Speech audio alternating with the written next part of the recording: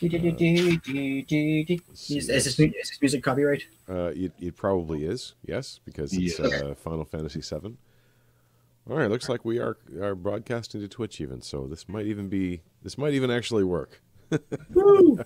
Um, Uh, no clue where my notebook went. oh, we have a, a lost notebook. Well, in the meantime, welcome to those who might be watching the stream.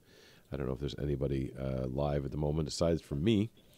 That's okay. You're welcome to join us live on Sundays at four o'clock Atlantic for Legends of the Drowned Isles, a homebrew D and D fifth ed campaign. Uh, currently in an alternative form. This is a, the alt game, as we've informally referred to it, or the Great Confusion, which was name was chosen for uh, for uh, kind of story reasons, but it, it ends up being very true in reality as well, as one of our players can't uh, can't make on a regular basis. So the remainder players have made new characters in a setting 1,000 years approximately before the setting they're currently in. Approximately. I don't remember what the actual year is. I'll figure that out later. I'm Mark the Encaffeinated One, your host, GM, and uh, lost soul, trying to uh, find my way back home. I have my players in front of me. Guys, uh, introduce yourselves and your characters, starting with Pat on my left. Hi, my name is Pat. I'm playing Silas Marsh, Illusionist. He has business cards and everything. Uh, hi, my name is Marie. I found my notebook, and I'm playing Annie. Awesome. I'm Max, and I'm playing a Medrek half orc, half orc cleric. Cleric of Ignis, one of the uh, Yep. created gods. In There be fire. peculiar little scenario.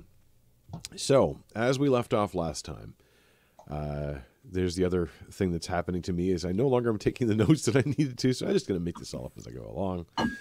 But you found yourselves looking around, casting about for a bit of work to be done in the small town of Ailtvater in the uh, bay uh, in Silver Moon Bay on the coast of Escus, the western coast, I believe it was, of Escus and uh, found a notice that the farmer, uh, one Rex Winthrop, uh, was complaining about missing cows and needed someone to help round them up. On your way out to the Winthrop farm, you encountered what turned out to be an ambush. A tree was across the road blocking path, and as you paused to take a look at it, you were ambushed by several bandits who seemed to have a particular message don't mess with the diamond. In the prehistory of the campaign, the diamond was ultimately who was expected to be for blame, I guess. The the uh, mastermind, if you will, behind a certain plot to ruin an inn's uh, uh, favor, to ruin their reputation. That inn being the Three Bells, which you actually saved from being overrun by rats. Well, think three rats technically, but they were well timed, well placed rats due to a hat of vermin summoning. After uh, dismissing and dispatching uh, the uh, the bandits, uh, one of whom uh, died, but the others managed to to scrape away with their lives, and they were they were booting it, booting it like you wouldn't believe.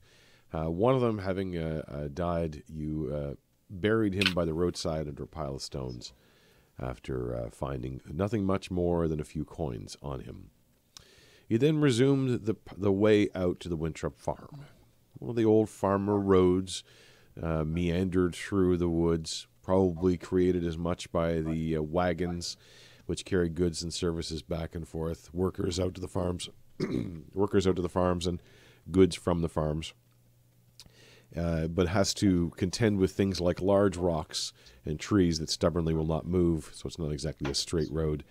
The day grew increasingly cloudy and gray until finally you found yourselves at the Winthrop farm. Uh, rain starting to set in heavily. On the deck of the farm, you found the farmer himself, one uh, elderly Rex Winthrop, and his uh, lovely wife, Alma, who took you inside for a small meal and discussed what problem they're having. During that discussion, uh, Rex indicated that a couple of cows had simply gone missing. They were out in the fields one day in uh, places where he knew uh, they had been many times before, wasn't really worried about them. No sign of animals taking them off, so he feels like someone had poached a couple of his uh, cows. Uh, however, Alma had another story to relate, which is that she had been in the barn one late night and had been spooked, we might say, by seeing some sort of strange shadow forming up in the edge of the uh, the barn. The shadow seemed to, to vanish when the light was turned to it. She didn't think too much of it, but it shook her enough that she mentioned it. So, after hearing that story, you thought, let's go ahead and take a look at the livestock and at the barn. Rex led you out to the barn, and there was the livestock many cows, many sheep, which are going to, in a moment, look a lot like, uh, like rams and uh, goats, because that's the all icons I happen to have. Uh, and while you were there, the storm grew to its zenith, crashing lightning overhead, flight, uh, uh, brightening up the spots from time to time. And in one of those crashes, a great, large, darkened shadow seemed to hover over in the corner of the barn, diving directly into one of the cows, who shuddered and fell over, dead. You rushed over to the cow. And that's where we're going to start things. You never get to say that often enough. What I'm going to do is I'm going to uh, let's see if I can get this done properly. What kind of lighting do we have? Is it just torchlight? Because it's so thick with clouds overhead, it's basically just torchlight. I'm going to switch to another screen here. Hopefully everything's still working on this screen as the technical issues are causing weirdness to happen. Uh, and I'm going to take us over to the Winthrop farm. All of you should see that if you're in Roll20 right now, or uh, yep. you have the master view on my screen as well. I put you kind of roughly in the barn, nowhere in particular uh, compared to. Uh, there was no particular marching order, so I kind of scattered you amongst the barn. Uh, and Rex is uh, displayed in the middle.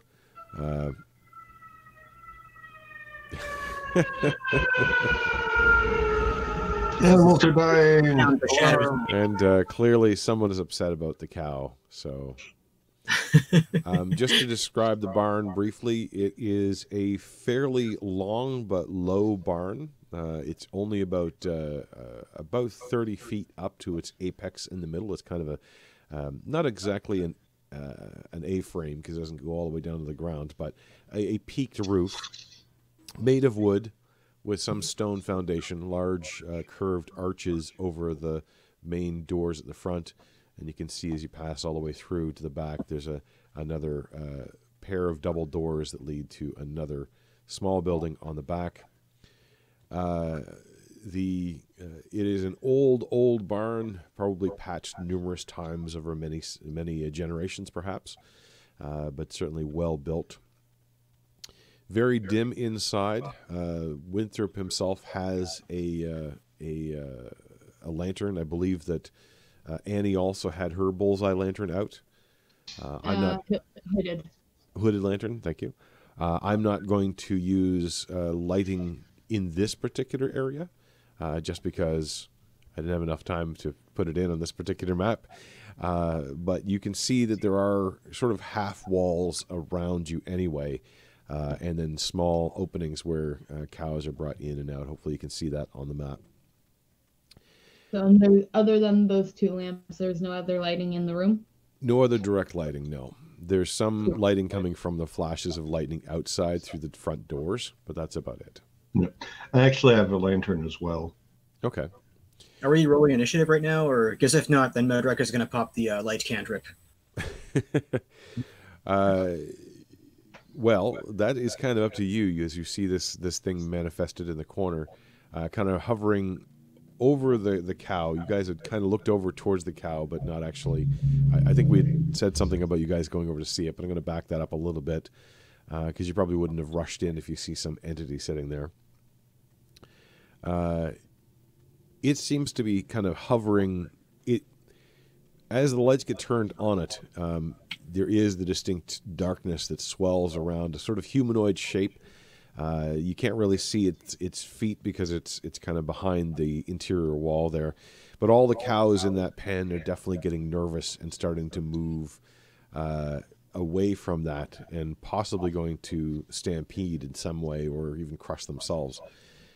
what do you guys do? Hmm. Touch my warhammer and cast the light cantrip and hold it up to the creature or whatever is standing on top of the cow and slowly move towards it. Okay. Um, as soon as you you uh, you expend the spell, um, brilliant flames kind of roar up around your your your uh, warhammer, uh, and subsiding down to the gentle glow of the light spell itself. It has a distinct, almost uh, a flame-like effect around it, though, rather than just being a point of glowing. They are sort of roiling flames, uh, but concentrated just on the edges, and it has no actual heat of its own, but it does have an impressive look on it. As soon as you do that, uh, the creature lets out a wail, and uh, we're going to have the wail, and then I will uh, roll for initiative. So, But I don't want to beat up a whale. uh, each of you has to make a wisdom saving throw. Wisdom is my jam. Forget what my modifier is. Guess I got too many pieces of paper scattered all over the place. 18. 18, okay. 13.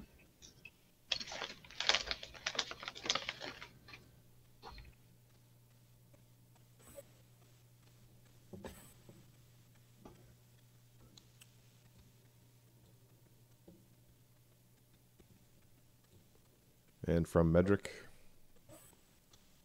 Oh, I see the roll there now. 15. Calculating. I forgot. I almost. I almost forgot. I had to add my proficiency bonus to it. No worries.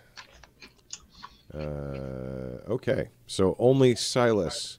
Um, for you, this this scream of despair rolls around the room. Oh, I will have uh, Rex roll badly. Um, as uh, the scream rolls around the room, all of the cows just stand still. And you can see them now. All their muscles are kind of tensing and twitching.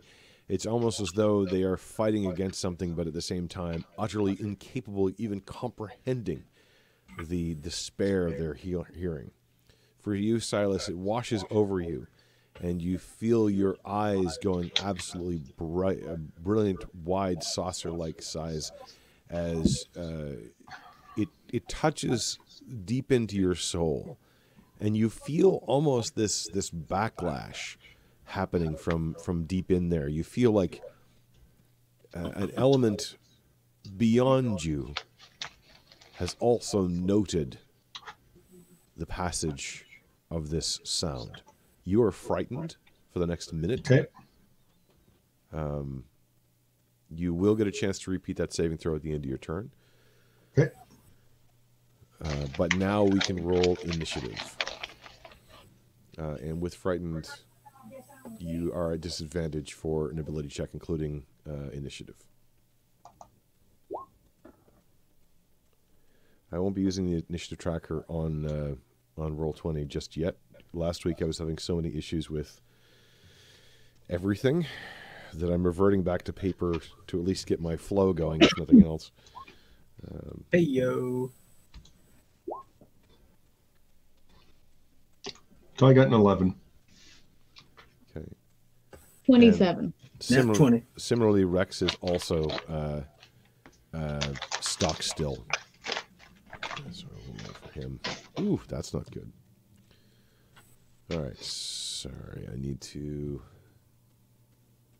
uh, Okay. All right, I've got now too many windows up. So we've got Silas with 13, and that 20. Uh, what's your initiative bonus, uh, Medric? Zero. Zero? Okay. Yeah. Well, He's not the most dexterous guy. that, that keeps it uh, easier. And 20, that 20 from uh, Annie as well, making 27. 27 is your initiative? That's that's I have so that gives a plus five to initiative. that's bonkers. I love it. That's great. All right. It's plus five to initiative. I can't be surprised uh, as long as I'm conscious, and uh, enemies don't get advantage from not being seen by me. Right. Is that the observant feat or is that mastermind stuff that gives you No, Uh, no, it's a feat. It's alertness. alertness? Okay. Yeah. Awesome. That's that's I love it. That's that's fantastic. Well, uh, Annie, you survey the situation. You see the cows in that space, which looked like they were going to tense up and, and bolt in any direction. Tense up, but in fact hold still. Beside you, you also note that uh, Silas has had a similar reaction, as has Rex. But this creature hovers in the corner. The walls that are separating the interior pens, by the way, are only about three feet tall. They're just meant to keep the cows and the and the uh, sheep from uh, moving about everywhere. Gotcha. Sorry, I didn't register what you said about the pens. The the interior walls of the pens are only about three feet high. Okay, so they can be stepped over. They can be l- vaulted over. It's not quite ste- stepping, but yeah. Medric can step Uh, over them because he's tall. So you can either, and, and for those, as is typical, you can either make an athletics or acrobatics roll to do it without spending extra movement, or take the extra movement like difficult terrain to get over it. Um, so I see this thing in the corner here. That's right. Kind of hovering over a, a uh, dead, well, presumably dead cow. It's not looking alive, let's put it that way. Yeah. Um, I am going to uh hmm, I might as well just go over and, you know, hit it with a rapier. Okay. You're still carrying the lantern? Yep. Okay. As you move closer and get closer up to it, uh, as the light from the lantern washes over it, you make out a distinct form in the center. It looks much smaller than the overall shadow, which seems to uh, undulate and twist and turn like a, a, a semi unstable cloud, whirling and twisting around it. Make your attack. 16. 16. That is a hit as you poke inward towards it. For seven damage. Okay.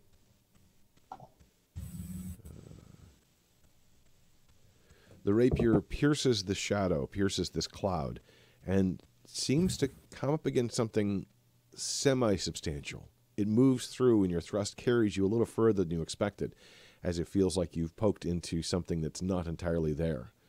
Uh, for a moment, uh, actually, not yet, uh, but you do have a feeling that while you poked into it, it did not uh, strike something entirely solid.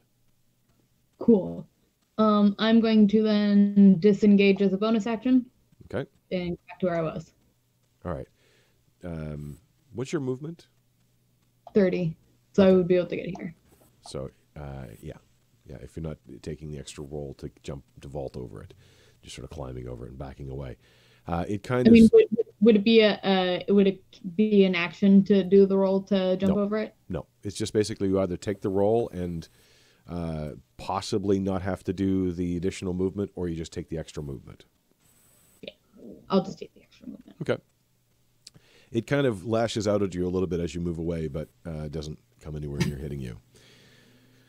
Next up is Medric. All right. I'll move towards it a little bit. As soon as I can pick up my character. There we go. Okay. That should work. Can you uh, can you move it? No. Okay, just a second. Make sure that I've got this. Um, oh, yeah, okay. I actually did create a character sheet for it, but you haven't been using the character sheet because I wasn't assigned to you yet. Oh, okay.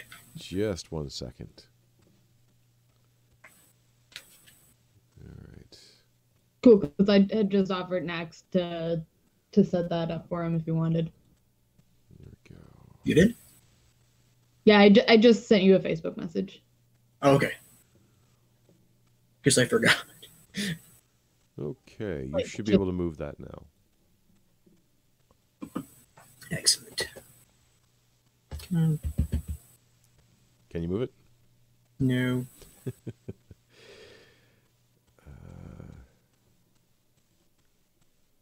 Technical issues.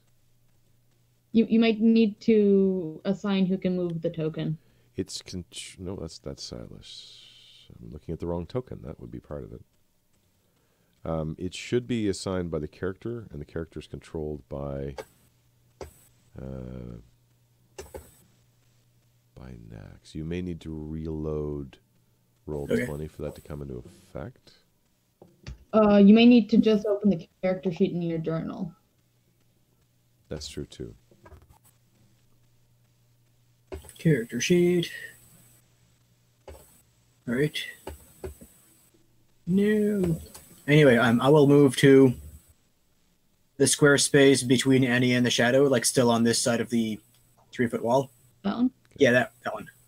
What I will do is I will. Whoops. Yeah, I'm Annie now. Sorry, I, I clicked the wrong thing. Just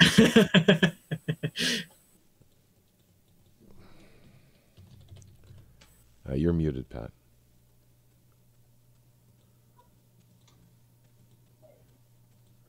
All right, now you should be able to move this again. Here we go. Okay. One, two, three, four. five. So that puts me in range. Uh, yes, although you are kind of poking over the the three foot uh, uh, barrier. Yeah. Just keep that in mind. But my arms are like way higher up than three feet, so that works. Oh, that's true, actually, especially because you're a half orc and tall. okay, and where's thing? Looking for my numbers. I will swing the warhammer at its face, or at its general direction. Okay. So to hit is is it my strength bonus plus my proficiency bonus? Yes, Okay, just wanted to make sure. that's definitely a hit. Smack Okay. and four damage. But I guess I'm using it one-handed right now, so it's D8. That's plus your strength as well. Strength, but not proficiency. Gotcha. Right. Like I still have Zacchus's numbers in my mind, and switching over has taken a while. I think Zacchus' number is pretty close at this point. not for strength. I don't know. Oh, maybe not. Yeah. 10 points. Nice. And the light is right in his face now. Uh, let's see. As you as well note that the weapon seems to pass almost clear through without hitting much. It was more like you hit something like water, where it slows it down, but there's no no uh, uh, strong contact. Okay. Uh, at this And uh, point, yeah. is it extra angry because the light is that much closer to his face now? Uh, no, but uh, make a perception check. Perception. Oh, that is the same as Zacchus's numbers. Okay.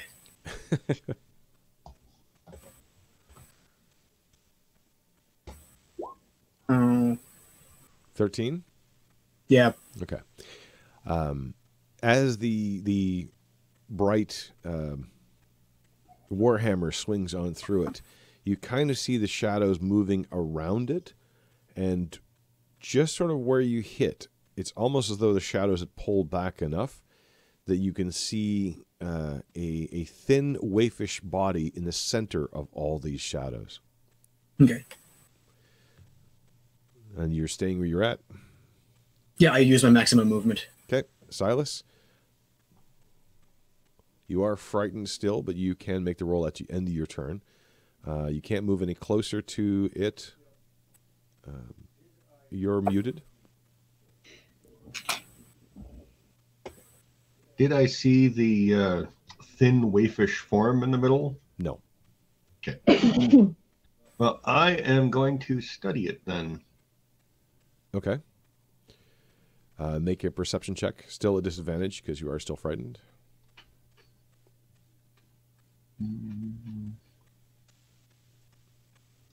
Where? Oh yeah.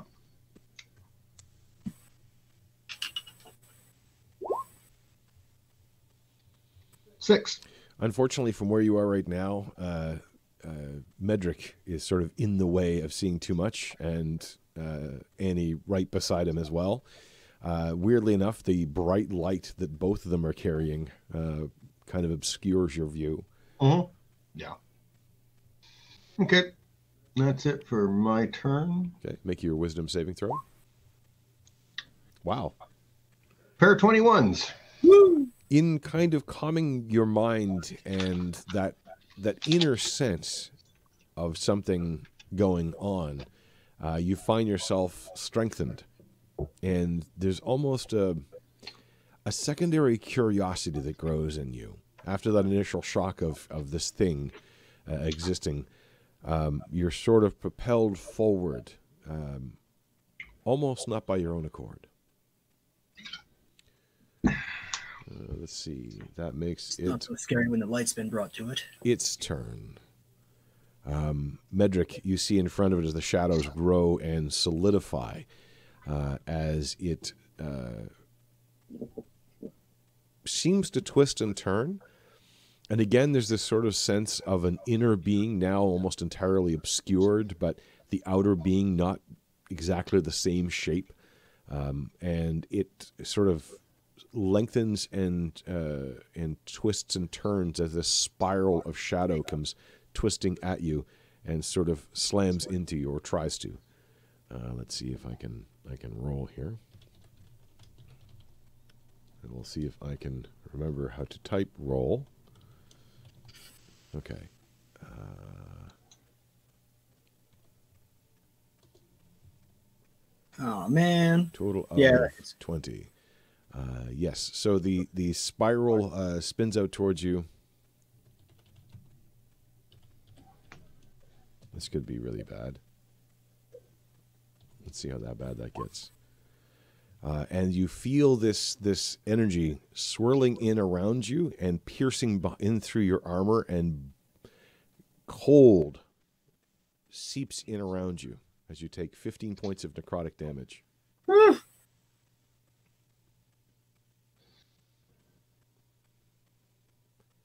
and it's almost as though the life feels like it's been drained out of you.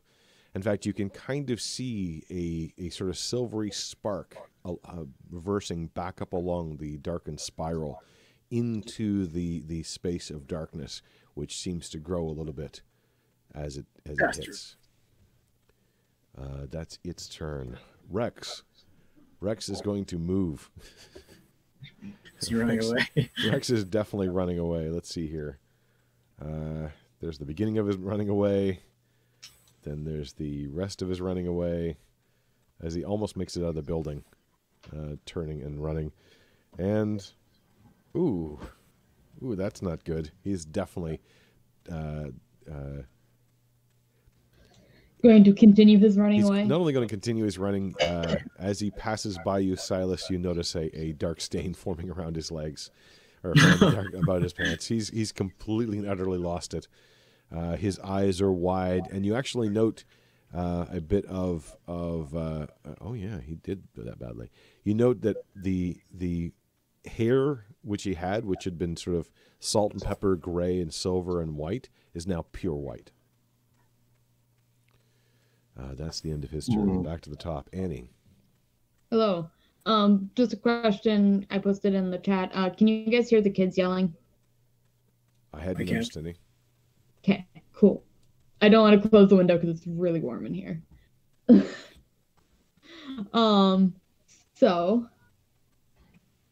um, if non-magical attacks don't seem to be hurting it much, I'm not very useful.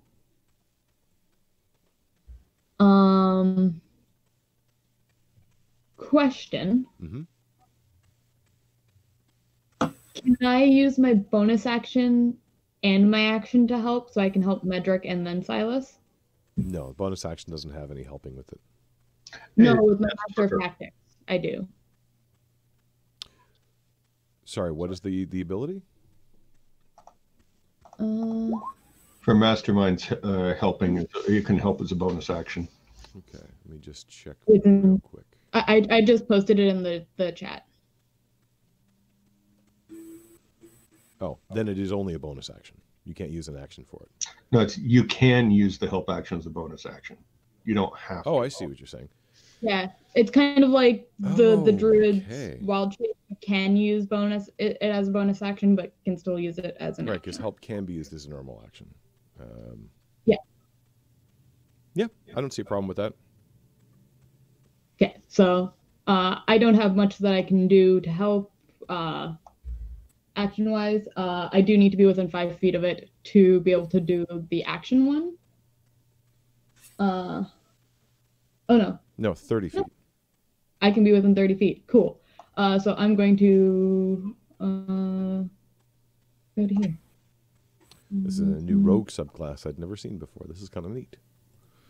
Yeah, it's it's a fun one. Uh, it's one that I've wanted to do for a while. I think it's from Stormcoast Thunder, maybe. Uh, Xanathar's is where I saw it. But it, might Xanathar? have been, it might have started in Sword Coast. Yeah. Uh, but yeah, no. So I will give each of you the help action. So describe what that looks like. What are you doing?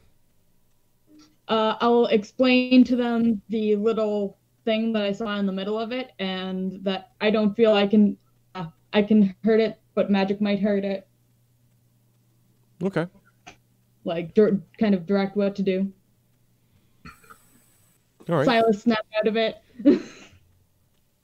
um, but yeah, um, ha- help action advantage to attack the shadow. All right. With a bit of uh, good advice, uh, that means Medric. You heard, kind of confirming what you had seen before, that at the center there is something different. Um, but uh, that bit of extra boosted advice uh, seems to carry uh, strength for your blade, or your uh, warhammer, I should say.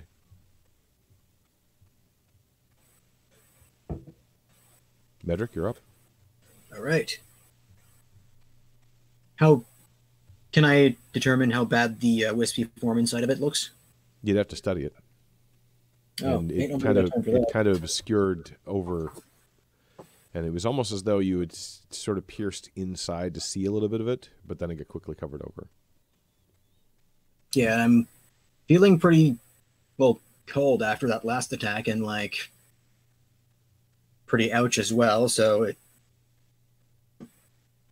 so Medric's eyes are gonna glow orange, kind of, and fire is gonna materialize around him, and along with light, and he's gonna use uh, Channel Divinity, Glory of Midday, to uh, you know, bring some light to this asshole darkness. okay. So uh, also, does that count as a cleric spell because it's a Channel Divinity? No, it's not a spell. Okay. so I don't take fire damage. No.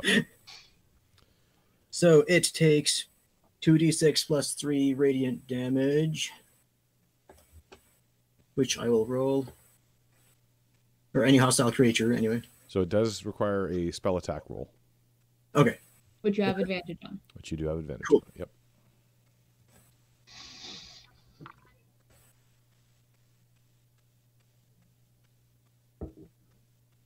Spell attack is just, is just my wisdom plus proficiency. Yes, okay. Uh, Yeah. Yes. Yeah. Your normal spell attack roll. There's one. That hits.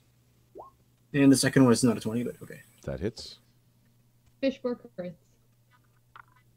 Uh, it is uh, three rays, so three attacks. There it is. Hmm? Yeah. Glory of midday is three rays of pure sunlight. Okay. Oh, Oh, okay, so I gotta roll another one. you got to roll four more, or unless it's the only only It's the first one. Three attack rolls. You've rolled two attack rolls. Yes, but he has advantage on them. Oh, I see. Okay. Yeah. Uh, does he only have advantage on the first one, or all three? Uh, I think it's the first one. We're gonna have to double check on that later, but otherwise that gets really powerful. Okay. Uh, all of a sudden. Uh, second one misses.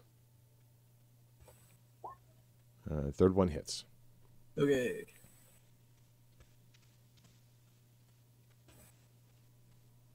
And you're choosing radiant damage. Yeah. Okay.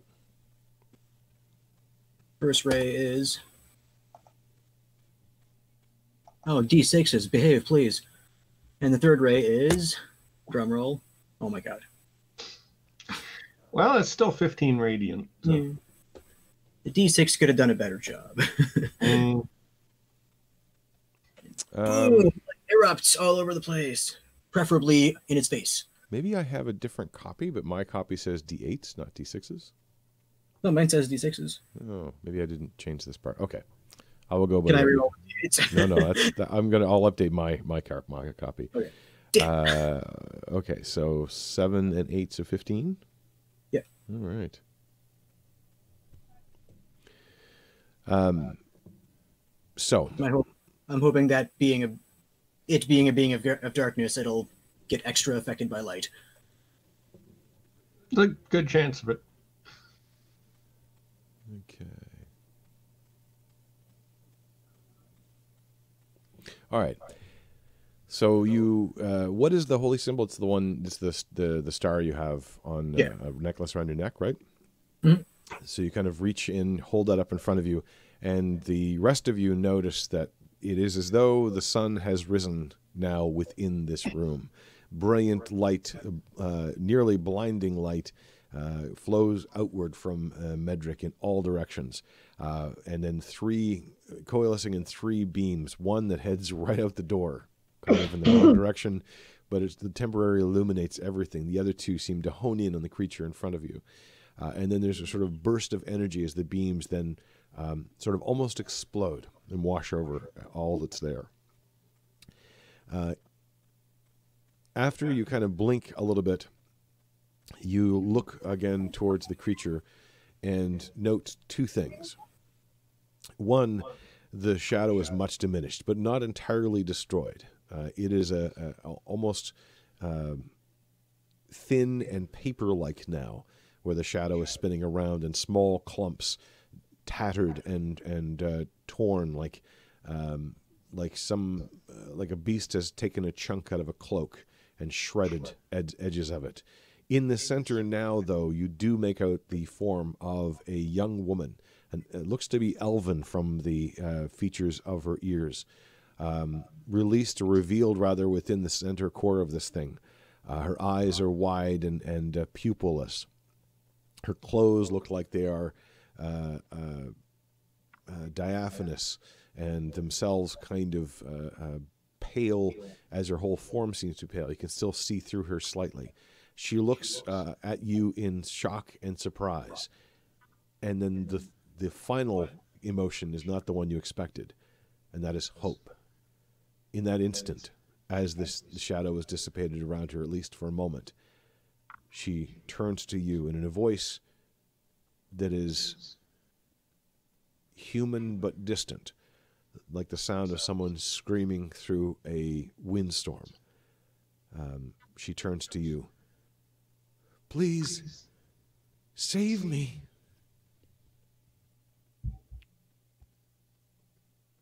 Silas. You do see that form now, and, and while the shadow seems to be gathering somewhat around her again, uh, it does seem to be mostly gone. Did everybody hear that? Yes. Okay. I'll dash up to there. And with a uh, particularly bewitching voice, uh, I make some uh, glowy gestures about myself, and I am going to suggest to the shadow that it wants to leave the girl alone for a while. That it should just leave. Okay. And it gets a wisdom save.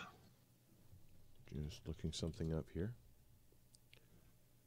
And it only needs to be to 13, I think. So, So that is suggestion. yes. Okay.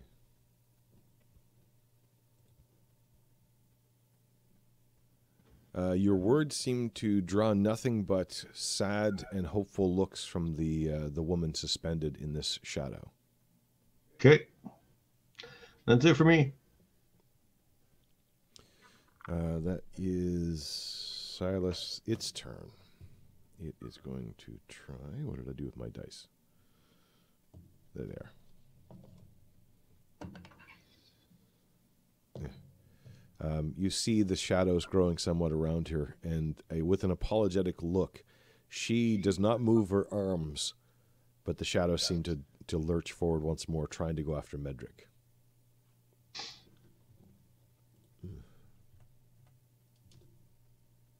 Oh, wow. It's probably a hit. Probably did. How bad is Medric right now? This could be a pretty ending.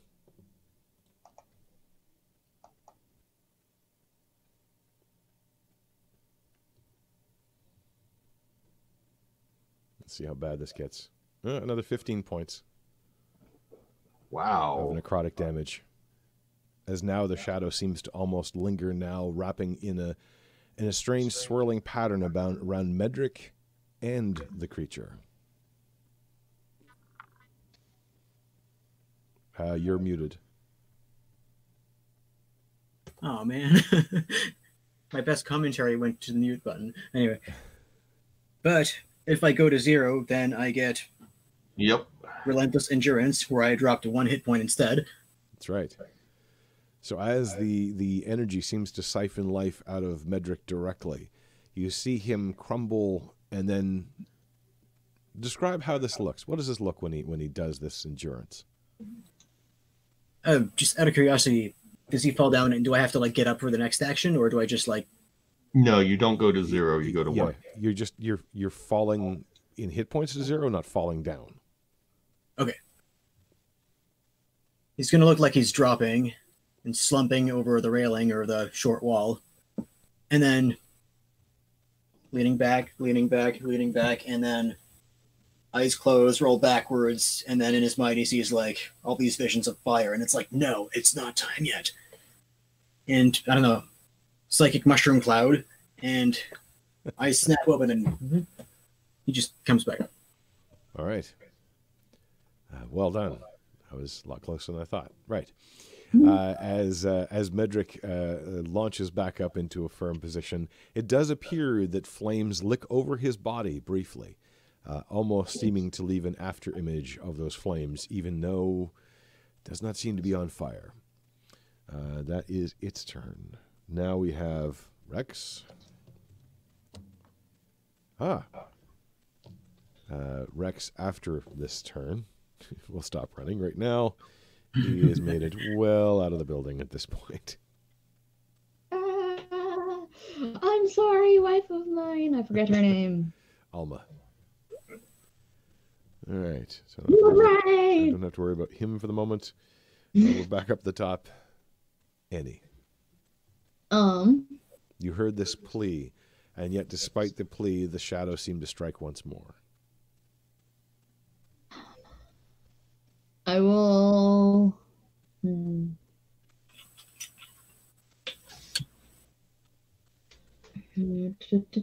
I will give Medric. I'll, I'll use my bonus action to give Medric advantage, and I'll take out my short bow. Okay.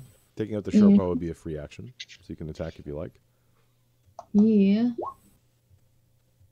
No. Ooh, Oh no! the arrow goes sailing out the open oh, door. Sorry, I pressed twice.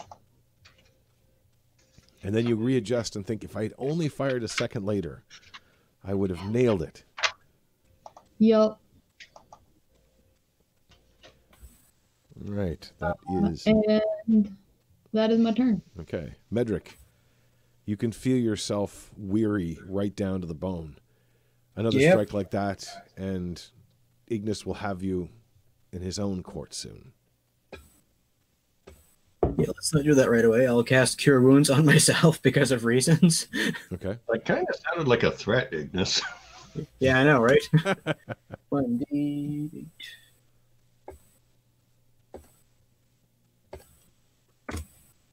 Only my wisdom modifier, right? Not wisdom pro- plus proficiency for curing. Uh, Yeah. Yes. Yeah, just wisdom on. Oh, stack bases. Okay. Come on, rolling the dice. Hey, decent numbers. So that's plus nine. My marker just disappeared. Why you do this? It was in my hand. Make a perception check, Nax. It's got a good hide skill. It, it might be difficult. Yeah. okay, so Didn't that, you know pa- pens have a natural 20 constantly on hiding? Yeah, passive hiding. Guaranteed that what 20? They're great with the surprise attack more than once and be like, there's a pen in my pocket. When did I put a pen in my pocket? All right. and for damage, I take. God damn it, Ignis! Why? So I take three damage. As once again he flares up on fire. I may change that. I reserve the right to adjust that Okay. to, be- to, to whether or not it affects cure wounds because that is a bit of a of a nasty penalty. But It's an ouchie. I'm just glad uh, we got this. Um, our characters are level three, so it's halved. Like I can't imagine this on a level one. It's like I heal you. there would be but I'm ways to, generally better off than I was in there the would be ways to, to, to mitigate that inside a temple, but yeah. Uh, And I'll raise my shield, okay. anticipating the next hit. All right. Um, yeah. Okay. So you're kind of t- turtling up a little bit. Yeah. All right. I can't disengage because I've already used my action. But you know, That's right. hopefully, if it hits again, well, hopefully it won't. But if it does, hopefully it's going to be less than twelve. Uh, Silas. Okay, well. Hmm. Silas really doesn't have anything he can do except possibly kill her, which is really not what he wants to do. I mean, illusions are powerful. So one, two, three. And he wants to try to help her resist it. Okay. How's he doing? So everyone, everyone sees uh, him. If he can, he's going to grab her shoulders and put his head to hers. And then he's going to think at her very hard uh, with uh, with uh, uh, messaging uh, that you can do this. You can push it away. You can be strong. Uh, basically, he's going to help her or try to give her a chance to break free. Okay. I like that. As you uh, pierce the shadow with your hands, you find it to be flimsy and insubstantial, but you can still feel its pressure against you. Everything inside is utterly cold. Um, you will take. Oof, where are we here? Hopefully not fifteen. Three points of cold damage, uh, which is probably, as you suspect, what actually killed the cow at your feet. Is it just simply froze to death instantly?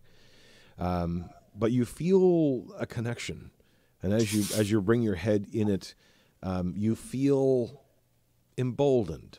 You feel strengthened. You feel that something is speaking through you that recognizes this entity not as a an ally necessarily, but as something curious. You can feel that twist and turn within your soul. Its turn. You see her eyes open wide next to your own, Silas. Ooh. Um, and then there's a, a grim determination that sets across her face. She shakes and twists her her uh, shoulders and her arms, almost as though she's trying to physically thrash away from this thing. You see the shadow kind of gather up behind her, now almost like a cloak, but more bald and and looking like it's got uh, strange tendrils that are spinning off of it from time to time. But for the moment, it seems like it's unable to attack, and she seems to be winning. Doesn't Nice. seem to be over, but it seems she seems to be winning. That's cool. Uh, Blast it. Rex is long gone. Uh, Annie, you Hello. also noticed this this uh, this gathering behind her, a separate spot where if you were to strike it, you would no longer strike her.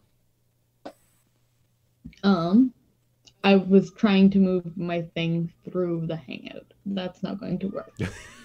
I've done that multiple times. I have it on three screens here, and you know I've clicked on every single one of them so far. Yep. Um, I'm going to come one, two, three, four here. Uh, I will try to shoot it again with a short bow. Okay. Line up the shot. That hits. 15. Cool. For max damage, 8. Nice. You notice as the arrow goes through, um, unlike when you pierced with the uh, with the rapier before, it seems to tear through this and leaving a small hole in its wake. The arrow does strike the wall on the far side, but it looks as though the hole is a, is a, is a satisfyingly large uh, uh, tear. Okay, and as a bonus action, I will give her advantage. Okay, You can do this. is it is it simply that kind of encouragement, or or how do you phrase it? It's going to be more like, y- you can do this. We've got you. Okay, We'll get you out of this. with Annie cheerleading on the side, and also probably emboldened somewhat by the actual strike. Uh, it Yes, I did something useful. It is Medric's turn. Seeing where this is going, we're all helping her. Medric will cast guidance, Oh, grab her shoulder, pushing through the shadow, and just scream while fire like surges out of his eyes a little bit. Banish the darkness! Nice. I like it. Uh, it's turned into Don't bring his shield back up. it's turned into kind of a, a group hug with occasional arrow. This is great. Uh, that's your action, uh, Yeah. Silas. What you did seemed to have worked, at least for the moment. Uh, well, okay. This might do something or it might not. I don't know. Um. Oh wait, I can't. We haven't slept yet, have we? Nope. Oh my god. I just found my dry erase marker, then I dropped it and it rolled under the desk. Wonderful. Okay. Uh, Silas reaches his hand, uh, one of his hands, uh, his left hand, uh, up towards it, while his right hand and his forehead are still on her, and uh, casts Wait. venomous burst. Ooh, She only has a ten foot range, but it's a little poison bolt. All right. I am new to rogue. I forgot to roll my sneak attack. Ah, Oh, yeah, good extra damage. Can I do that? you certainly can. Cool. Another seven. Nice. Nice. Uh, venomous burst. Here's the interesting question. Yeah, it's poison spray. Yep. No, no, that's that's fine. Uh, Yeah. Is it affected? That's what I'm trying to figure out. Uh, unfortunately, it does not seem to be affected by the poison as it just sort of sprays. There's a little little hissing as this as the spray uh, hits the interior of the uh, the barn's wall right there. uh oh, I just poisoned the barn. All the cows are gonna die. You better make sure the cows don't lick that corner. Let's just put it that way. I'm sorry for forgetting my sneak attack. I will try not to. That was Silas's turn. That means Yep. it is her turn. Her turn with the guidance, with And, the shout of help. And advantage. Yeah. She's got this. Unless she rolls all ones. Don't say it. Didn't roll all ones. Uh, actually, rolled surprisingly well.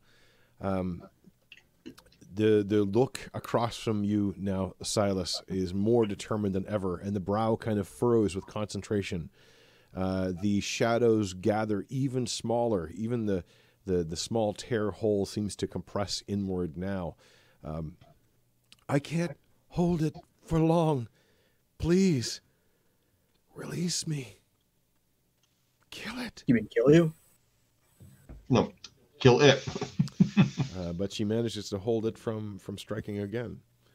Uh, Rex is almost home. Back around to the top to Annie. Okay. Uh, I will try to shoot it again. I will do basically the same thing. It's tightened now almost to the size of a basketball, and little tendrils still kind of spark outward from it. Uh, it it's such a concentrated darkness at this particular moment. It almost looks as though it's a hole in the universe. Cool. I will try to shoot it again. Oh Natural yeah, nine- twenty three. I'd Gonna say roll- that's pretty good. I'm gonna roll a sneak attack now. Okay. Another seven and then five. All right. So twelve. As the arrow speeds towards it, what does it look like as you destroy this pit of darkness? I imagining it kind of like dropping a rock into water and it's just like Okay. With a little extra English on the arrow as it spins ever so slightly off of the bow, it kind of twists inward, and then there is that that that ripple outward as the the tightened ball of terrible energy gets shredded itself, releasing now a a different figure. I will actually try to remember how to get this on the map. As the shadow is dissipated, leaving in its place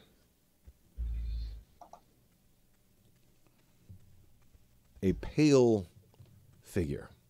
Again, elven in general out uh, stature, standing, but not seeming to be entirely in contact with the ground. Solid, and yet solid in the way that a wind is solid. You can't really hold on to it. You can't really grab it, and yet you feel the force pushing back against you. And she moves back away from Silas. You find your hands grasping almost nothing. And she heaves what you suspect is probably a reflexive sigh because you can almost entirely see through this being. Thank you. Thank you all. I think it is gone for now. What was that? Are you, are you alive? I. And she kind of looks down at herself and kind of holds her hand out and turns it around, uh, looking kind of through her hand. I fear that I am not. I fear that. I do not know. I do not know what I am. But I fear that I am not living as such, and I can feel already the great pull to beyond. I will not be here long, but I will be What at peace. It was a being of pure evil. It. I don't. And she looks very, very puzzled, and her eyes go wide with with with nervousness and and surprise and concern. I don't remember. I don't remember. Why don't I remember? I was. I was. The temple. I was at the temple. The Temple of who? Do you remember? Well, try to remember. And she kind of Sure. looks nervously. I I don't. I should If it makes you remember. Feel better. I just came back from a war that I know nothing about. Something happened. Nobody knows what. We were we were hiding, sheltering, preparing. Did you see the Baron? Like player asking to the GM. To GM, did you did you see the Baron? You cut out a little bit. Oh, sorry, no. Um, preparing was last. Preparing. Okay. I. We were. There was something changing. We were going to sleep for a long time. We had to. Do you remember your name? Where you're from? My name. And her face kind of brightens. My name is Sedona. I remember my name is Sedona. But I don't remember where I'm from. I must not be from far. While it had its hold on me, I I could see things Things like what? there were there were people they had come into the temple i was hiding but i didn't want to it made me hide we watched them as they moved the rocks and opened the temple the temple should not be open. The temple should not be.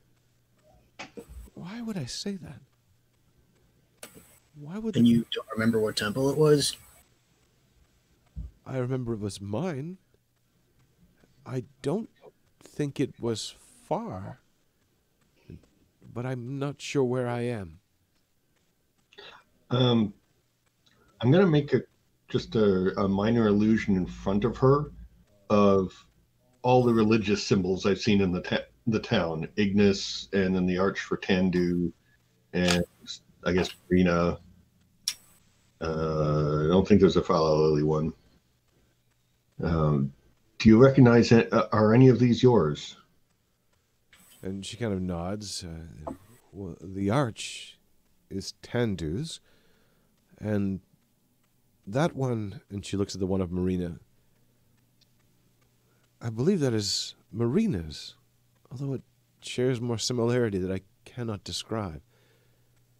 I'll pull out the Ignis amulet. Does this one ring a bell? Her eyes go wide. Yes, yes. Uh, it, Oh? it is. It is of Ignis. You are of Ignis. I feel like I don't know whether I should trust you. But you saved my life, so I must needs trust you for now. Why do you I try my best to banish the darkness whenever I see it. And she nods. Yes. It was. It was not from this world. It did not have thoughts that I could understand, only desires. It. It wanted to bring something here. Itself, I think. Well, whatever it was, can't be allowed to do that. I'm sure we can all agree on this. I think that would probably be a bad idea. Yes. Yeah. And she kind of Oh, looks. by the way, we are in uh, on the island of Escus, in the town of. I didn't write it down, and I can't pronounce it properly. Clear note. Elf something. Ilthvater. Elfbutter. Sounds like ale water. Yeah. Um, she kind of nods. Escus. Yes, yes, that is right. I am on Escus. The temple is on Escus. We cannot be far. I, I do not understand how we followed them. Uh, she kind of looks distant, kind of trying to remember. We followed them. Sorry, go ahead. there seem to be some dark magics on you. I'm sure whatever you did was not your own doing. For how long do you think you're going to be around? and she kind of looks down and, and sees the the animal below her the the cow cold and dead and kind of moves in this weird way where the body shape suggests that she's kneeling down but it it seems to twist and twirl almost as though insubstantial there's a, a a quick movement more of a change in shape than an actual movement and she's puts her hand tentatively at first and then gently on the side of the, the, the, the dead cow. I did this. I didn't. It did that. I was so cold. All I could think was it was warmer. And it was. It. It was pretty cold. Uh, were there more than one of you, or what you used to be? Because the, the reason why we're here, we're helping this farmer solve the mystery of why his cows keep dying and disappearing. Uh, I'm pretty sure we've been successful, but if there's more shadow creatures like what you used to be, we should be on the lookout. And also, do you know what was happening with the cows after? and she kind of looks One question at a time, dude. Your brackets is showing. Oops. Um, she's kind of looking and, and sort of reaching out to sort of gently touch the, the fur of the cow and, and sort of gently, although you can see that her fingers don't entirely touch. Um, every time she gets closer, it sort of almost moves through. Uh, and yet there is a small ripple in the fur as she's, she's watching it and kind of looking distractedly at, at, at, uh, at it. And your questions are kind of hitting the back of her, it seems, at the moment. But she does kind of absent mindedly uh, speak. Oh, yes, there were many of us at the temple. It was a it was a wonderful place, a place of healing and a place of life, and and then it was, it had, and she kind of turns back. It had to go. Why? I don't remember. I saw those others. We watched them. First, they had opened up part of the temple, but then seemed to be frustrated or, or, or something. They lit a fire. They lit a fire inside the temple. That's not allowed. But um, I guess it's a ruin now. And and then they were. Some of them went away. And came back. With. And she looks down at the cow again. With a few cows. They argued about them. And then. I think it was the leader. She told them to get rid of them. They kept one. They feasted on it. I won't be here long. I can. How long do you think? Could you take us to this temple? I think so. But you're you're wounded. I'm sorry. She kind of steps up, and again, it's not so much that she is standing up as a human would or, or a humanoid would, so much as the shape sort of shifts and changes and rises till she's standing in front of you, her hand tentatively reaching out towards the uh, still kind of darkened, uh, heavy purple and blue bruises along your neck, where the the uh, the shadow had kind of corkscrewed into your being. I'm sorry. I could heal these wounds. You can? I could. I can too. So it's not a big deal. You were controlling your own mind. I was so confused. I didn't know. I didn't understand.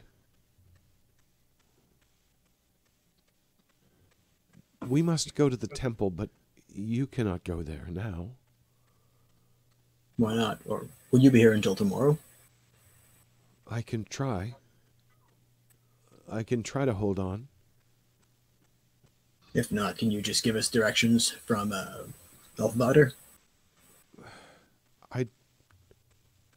I'm not sure, but I can I can look for it tonight. And I will know the way. And if I can and she tentatively pushes against the wall right beside her. And then her brow furrows and her hand kind of stalls by the edge of the wall and it shudders slightly. I can touch things. I will leave a path if I do not return. But you, you've saved me. I would know your names. Who are you, strangers? My name is Medric. Medric of Ignis. I I go by Annie. And she looks at you and her head kind of tilts. You remind me of someone. But I don't I remember- remember whom. With a lot of people. Perhaps, and there's a lopsided smile, the first sort of positive emotion on her face. Perhaps that is it. I have seen few, I guess, for a while, and still there is something. And and you who spoke encouragingly, I sense in you something deeper. Who are you? My name is Silas Marsh, ma'am. I do not know you. no, but- I do not know you, unfortunately. But I thank you. Also, um, she's the only one that heard the the uh, heard him talk to her. Nobody else would have. Right. Um, I'm. Oh, the other one, the older man. I have fear I've I made him afraid. he will need some. Yeah, probably. He will need some time.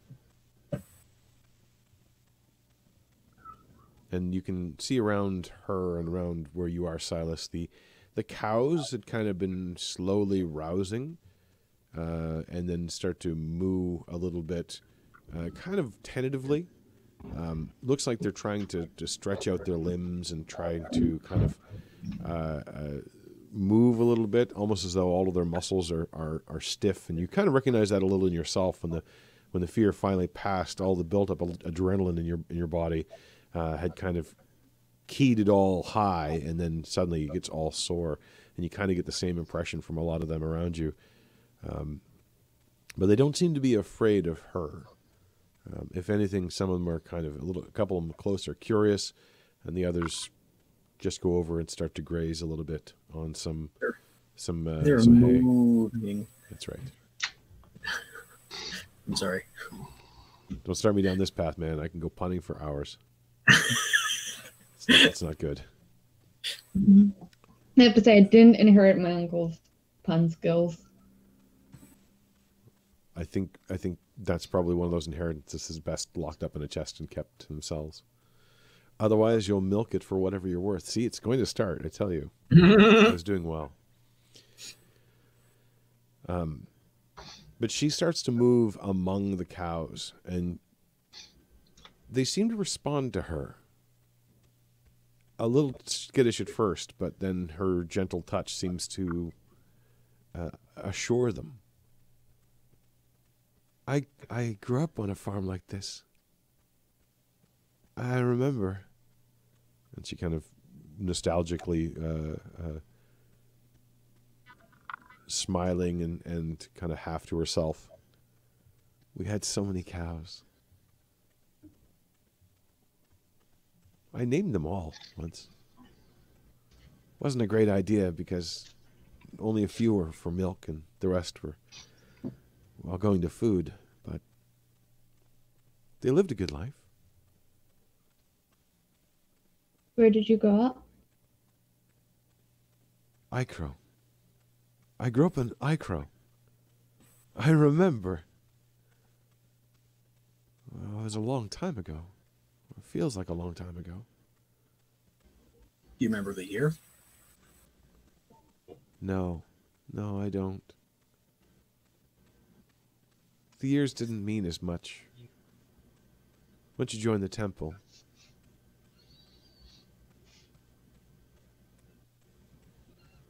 and she kind of seems lost in her own thoughts. Speaking of years, would Medric remember like the year he was born, the year he went to this Forgotten War? I mean, he certainly remembers the year he was born, and you know, childhood and growing up. A lot of that is is easily brought to mind.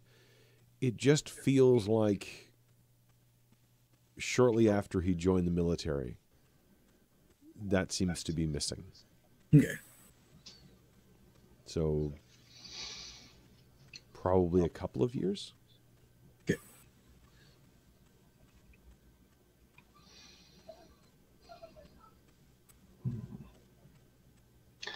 Is there anything we can do for you? I think you've done so much for me. You freed me from that thing, from the Shadow Man. I wish there was more I could do for you. Once I could heal. but I don't feel that connection anymore. It feels empty. I feel. I don't know. Confused. That's Connection. Was there a connection to fire by any chance? No, I I don't think so. It was something else. It, it is as though all thoughts of it have been scraped away. I think many feel the same way. Do you? Yep. Do you feel this as well? Yes. I've joined the military to fight a war. And a few weeks ago, I was on a boat and heading to Elfwater, and there was a feeling of victory, but I remember nothing. Like sometimes I go to the taverns and the inns, and I drink a little too much, but I, it's not like that kind of forgetting. It's years just makes a disappearing motion. Yes, th- that's what I feel too. Like, not as though I've been, I've forgotten something, just that I don't remember it. If that makes any sense. It's like something was ripped out of your mind. What about you guys, uh, Silas and Annie? Do you guys feel like anything was ripped out of your minds? I believe most people do. There was some strangeness. It's strange. I feel like I remember things, but don't. I'll turn back to uh, Sedona. It's like, see, I think it's everybody. I can ask Rex when we get back to his house. Oh. Is there anything I can do for him? I don't want to scare him again. And she looks down at her own body, but I I don't think that he would that my being would be of comfort to him, but I would like to try. Well, we could try. I mean, if he knows what happened and that the issue has been resolved, then. What do you guys think? It should be okay? Yeah. I mean, we could talk to him first. Would you? And his wife, because I think you gave his wife a scare the other day, too. Yeah. I'm pretty sure Elna will be glad to know that she's not imagining things or wasn't imagining.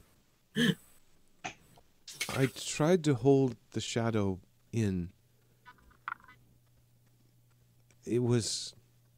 It wanted so much. You did what you could. All I could feel was cold. And I thought it was just the winter, but it was a cold within, like. like I don't live anymore. Something undead. Something. And she kind of holds her hand up and. This sounds like the ghosts of tales. I never thought I'd be one.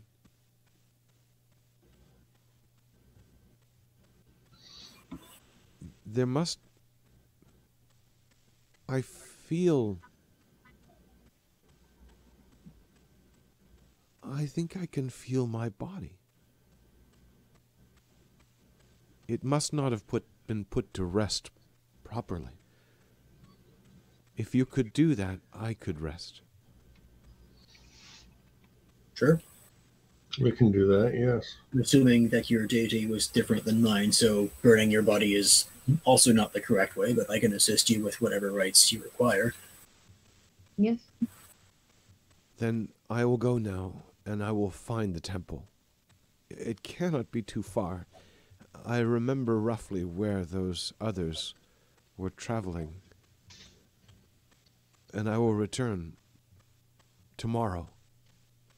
Or I will leave sign. Thank we you. will do everything we can. Thank you all. And I'll give her like a brief description of the path we took coming from Elfvater, Okay. so she knows like roughly where she is. okay. Or if Silas wants to do that because he's smarter. yeah, we just kind of went straight, then took a right, and straight again. Thank you. And she kind of turns and moves over the wall, the low wall. But again, it is not as though she climbs over it so much as there's a body change shape that sort of flows over the top of it, reforming the shape of the body on the other side. And while she takes step by step by step outside out the door, it, it is almost as though the steps are, are badly synced in terms of the, the special effect, if you will, where it does not seem like her, her feet ever really con- come in contact with the ground. And with that, she walks out into the still still raging storm overhead, although the lightning crashes have, have diminished tremendously. Well, that was interesting. That was the strangest thing I've ever seen. Yeah, same. I I think she was a good person at heart, though. I mean, just possessed by something twisted and disgusting. Yes, some form of some form of shadow from outside. She said. Should we get back to Rex? Yes. Hopefully, he's back at the house. A good idea. So you're heading straight back to the No. house? Yep. Yeah, I'll pick up my uh, my lantern. Okay. Uh, you head back to the house, and on the back porch, you can see Rex laying down on the porch. Uh, Alma with a large uh, uh, paper fan, uh, kind of blowing as much air over his head as you, as she can. He's kind of holding his head and kind of moaning a little bit. You, you, you, you can't. No, I mean it was terrible. I, I don't understand. It was a terrible thing. I told you so. I told you there was a thing there, didn't I? And it seems like this conversation has been going this way for at least a moment or two. As you come upon them, Alma looks up. Oh, you're all right. Thanks. Thank the heavens. We dealt with the situation. It was a girl's spirit that was possessed. and and Rex kind of rolls over a little bit uh, from where he's uh, lying on the on the on the uh, porch, and you can see now that in, indeed uh, his skin is almost a, a lighter shade of white, and his hair has gone shocked entirely, completely white now, uh, and he's kind of running his, his hand through his head. That was the most terrible thing I've seen in a generation. I don't remember how he She feels- talks. Bad. she She, she was trying to fight it. You're, you're cutting out. That's me also stumbling a little bit Okay. on my own words. Um, y- you mean it's still out there? I don't remember how he talks. I really wish I did. I should look that up. Oh well. The creature that was possessing her is gone. Yeah, the thing that was killing your cows is gone. And Alma kind of looks. Unless there was more than one of them, but I guess if we wait another night, we'll find out if that was the case. Alma kind of looks at. Oh, the poor dear. And Rex kind of looks at her with this expression of disbelief. Poor dear. She scared my hair white. Oh, The you. creature that was possessing her did that. Oh, now Rex, No. you know it was going to happen eventually anyway. That's not the point, and you know it. be- Sorry, go ahead. the cow should be fine, fine to butcher. It died of cold. And uh, Rex kind of sort of thinking it over. It's like, aye, aye, aye. If it, if it if it died of exposure, if it was out too cold, that would be all right. Might taste a bit funny. Well, the shadow thing didn't make didn't carry the cow off with him, so or with it. So yeah, at least you can profit from the cow. But And yeah, that thing was cold. And I'll like grab where my neck where the thing like dug into me. Rex kind of sits up on the on the the deck. I think I have to have a little of the medicine, and kind of Alma shoots him a look. Just a little bit. Just a little bit, but I'm gonna need it. Uh, I'll need a strong back too. If uh, any of you might be able to give me a hand, I should get that uh, that poor beast into the cold room before before night. I can Yeah, I'll help him out. work it on tomorrow. Yeah, Silas looks over at Medric. Voluntold. Alma, go and, go and fetch the dog. medicine. and Alma kind of sighs. Now, don't you move anywhere. Goes inside, comes back out a few seconds later with a uh, a a dark um, glass bottle uh, and three small uh, glasses. Actually, sorry, five small glasses, and proceeds to pour you each a shot from this glass. Uh, Rex doesn't really stand on ceremony and uh, downs it very, very quickly.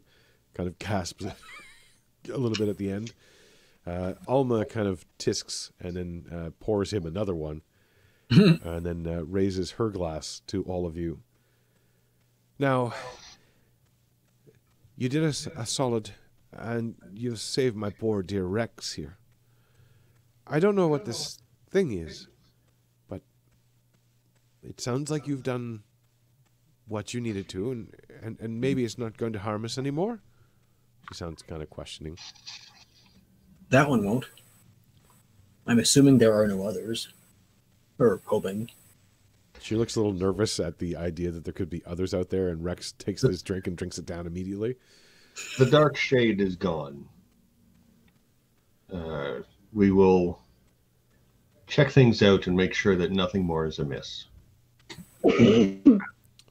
Alma refills his glass again, and then gives him a pointed look. As I was saying, I want to raise this to all of you, and thank you for it. And she then offers the uh, the glass in, in toast, and then proceeds to slowly drink it down. Rex Yeah, I'll take one. Rex tears his down his throat pretty quickly. Uh, I. What kind of sleight of hand roll was that? Because I am not getting drunk. Uh, It's only one I shot. get a 15. Uh, I pretend to drink. Doesn't seem like Alma or Rex noticed. Um, does Annie, uh, do Annie and Medric take the uh, the drink? Oh yeah. And I'll sip on it. Okay. Uh, it's a fairly crude, uh, but uh, surprisingly sweet peach schnapps. Or at least that's probably what it's meant to be. Uh, it's it's a little bit thinner than a than a schnapp would normally be, and a lot sweeter. It maybe have has sat for a while. The body the bottle looked fairly large, but it didn't seem to be any effort to carry, which pre- was probably less than half full. Special occasions and that sort of thing. Uh, Rex is sitting there smacking his lips. It's a very strong alcohol, even for the small amount that's there. And kind of, actually, why don't each of you make a Constitution saving throw, just just for fun, to see how you react.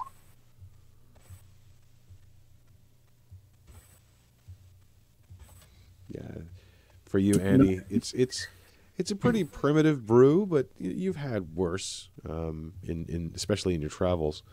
Uh, Well, I guess I'm tired and but I've had worse. Uh, for you, uh, uh, Medric, you kind of throw it back, and it it sort of hits the back of your throat, and then you kind of involuntarily belch a little bit, and there's a little puff of smoke. Uh, as as probably the the the instinct or the in, ingraining of Ignis to get rid of poison through through burning them out of the system. Kicks in a little bit, uh, and you you've been a long game. you, you find it kind of flowing through your, your, your muscles and where it interacts with the, the very deep cold that you've got instead of entirely being comforting it's more like uh, just now you have two extremes that are fighting over your body right now. Um, uh, rex uh, uh, kind of uh, coughs a little bit himself kind of looks a little sheepish hi well uh, and kind of slaps his legs, uh, his knees, and sits up, stands up. Well, If there's no more danger, best, best to get to work. Uh, if you'll follow me, and he, he leads whoever's going to go with him to help back to the barn. Yeah, Um, it's. It's a simple procedure, um, and you get the sense that he's actually done something like this fairly often. He kind of explains that you know normally you get this impression too that he's kind of talking out of a nervous habit, uh, kind of like trying to keep the, the, the sound going all the time and kind of keep up the the uh, the, the monologue even if uh, the other person isn't responding. But you get the impression that normally when the slaughtering season comes around, he hires a few of the uh, folks from in town. They come in and do a lot of the heavy lifting. But he's done this for many, many years, and when necessary, and kind of shows off a, a, a dwarven made uh, cart that he's got, which has this sort of uh, winch arm on it, and get you to kind of help to scoop this up and tie the winch and the the, the, the ropes around the, the cow's legs and kind of use a ratcheting system to to help move the cow. It's it's a complicated and involved procedure, um, but it, it he doesn't he seems to be moving a little stiffly and a little bit uh, um, uncertainly, uh, even though every motion is certain. The strength isn't quite what it was uh, or what it has been, and so leans upon whoever's helping your strength. Uh, and then the whole thing with the cart and all, he'll get Medric then to push the cart, and he leads you towards through the back of the barn to the other small building that's there, which turns out to be the the actual abattoir, but half of the room is cold storage, uh, and you kind of just put it in there. He hooks the the part where the legs have been uh, tied on to another chain, and then just starts to ratchet it up so it's hanging up off the off the ground as well. Nothing else is in here because they weren't planning to, to slaughter anything anytime soon. But as you step into, and actually as both of you step in a little bit, the cold is a little bit nippier, uh, probably more so on on you, uh, Medric, and you can kind of feel the icy traces of where this thing had had, uh, in a weird way, cold burned the outside of your body, uh, leaving the flesh there with some markings. But after the procedure is done, uh, he, everybody gets back into the house. Uh, Alma has has been making a sort of evening tea, uh, a different tea than what they were having earlier. There may or may not be a different kind of alcohol that's included in this tea as well uh, to fortify it for health reasons. uh, and yeah, she proceeds to kind of keep bringing out food. Uh, it seems to be her natural reaction to to a lot of nervousness is to to make more things uh, until there's quite a, a a heaving uh, pile of of cheeses and some other breads, and there's a stew that's been coming out of nowhere. Pie? What's that? Didn't she have a pie? She had pie, yes. Yeah. Wait. Did I eat all of it? I forget. Not all of it, but uh, there's the opportunity now for certain. Um, but otherwise, it's just sort of light, light chat into the evening. Uh, Alma and Rex kind of regain some of their their form, some of their measure. Uh, kind of get the impression that the two of them spend a lot of time out here on the ranch alone with each other, and there's a sort of playful banter which keeps going back and forth between them. A little bit of teasing, a little bit of of uh, of uh, joking. Uh, there's probably some of the jokes that Rex has told a thousand times, but he's very happy to find three people who haven't heard them all. and every once in a while, there's just a, a, a roll of the eyes or a sour uh, sound that comes from Alma, who's clearly heard them before.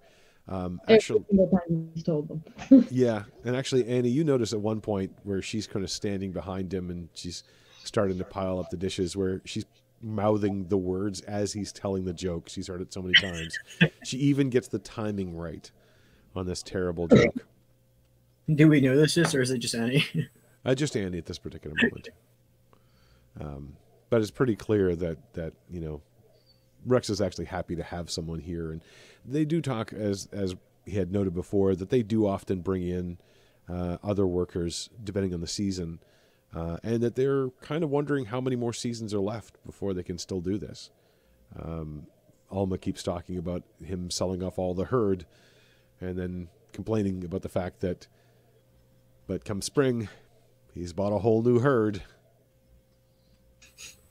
Uh, the recent uh, the recent difficulties have, have kind of limited them. Uh, they do. Uh, Rex does say like the, the the cows that they lost were gone completely. They didn't just die. So it couldn't Was have been the the shadow itself which which killed them because if it killed them the same way, she would he would have found the bodies. Mm. Did they find blood, or did the cows just like disappear? Just disappeared. They found no evidence of animal, no evidence of blood, no evidence of a fight. They were just gone. But they do roam out on the land quite quite a lot on their own, and Rex can't get out there all the time to to, to see after them. Once the storm has settled, we'll go out and look to take a better look at the pasture. Okay. The storm seems to continue to rage on into the evening. Uh, looks like it's it's it's on its way to settling, but it's also getting to be really late at night, and Rex is not keen to go out on the land right yet. Yeah, considering what just happened. Um, there are some predators that are out there at night. He doesn't graze the herds at night uh, because of that. Makes sense. So, do you want to go out on your own, or do you insist that Rex go? What's your your plan? I would wait till light. Yeah. Okay. Going I out would- at night. There are predators normally. Right now, I'm feeling like hell.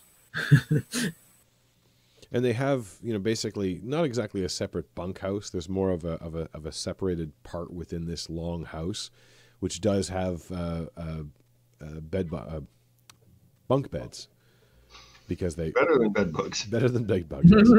yes. uh, in fact, uh, Alma would insist there are no bed bugs. Uh, she's very thorough about cleaning.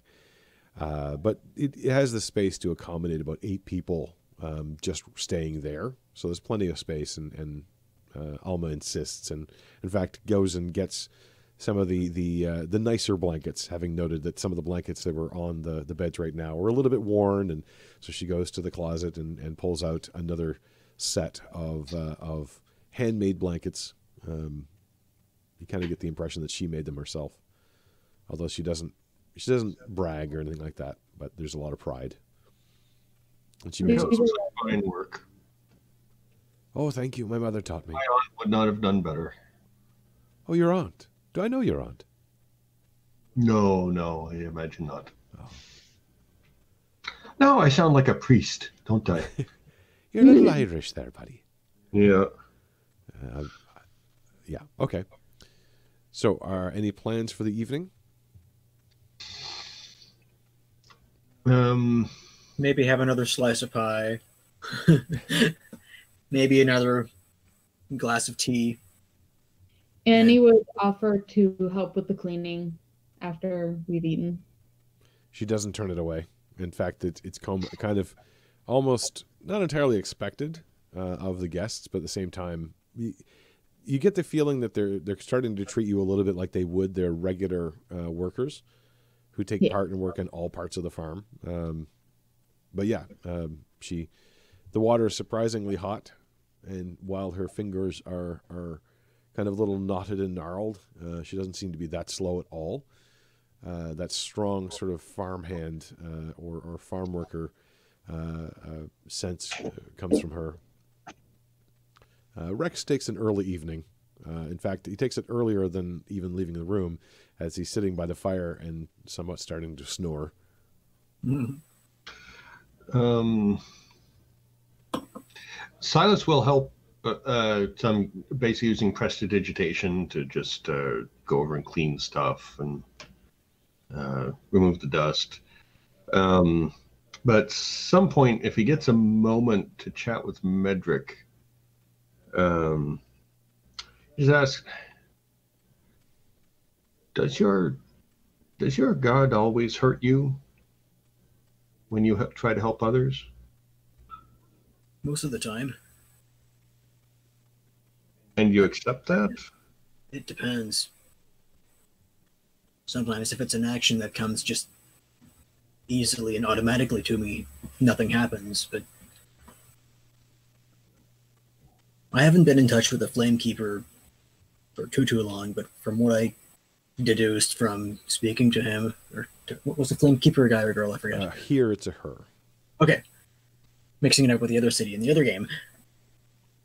pay no attention to this note. Except for the other game too. what? Except for in the other game too. Whenever I discuss with the Flamekeeper, it seems that Ignis does so to strengthen his followers. And I, I guess I am okay with it. I mean, where I grew up, scars were a thing of honor. And it's like what's a few burns here and there. And I'm lucky I didn't get stabbed too much in the war. You know, whatever did happen in the war, but And you're willing to deal with the pain so that you can help others? Oh, yes. And help my friends. And help purge this land of the darkness. From what I from what I, from what I'm told and what I believe, it's going to hurt less and less over time. Although these past few days, I don't know if I'm doing something wrong. I'll talk to the Flamekeeper about it. It feels like it was a little extra painful. Hmm. I mean, I was told by the Flamekeeper of some followers of Ignis who can light themselves on fire and suffer no ill effects. It seems hard to believe, but That would be impressive. might question to God? Okay, I understand. I understand where you're coming from. That would be Who might have question to God? And um, There is a cost to most things, and to have, have access to Ignis' more powerful magics, I suppose. yes, there's always a cost. That young lady. I don't The ghost we were talking to? Yes.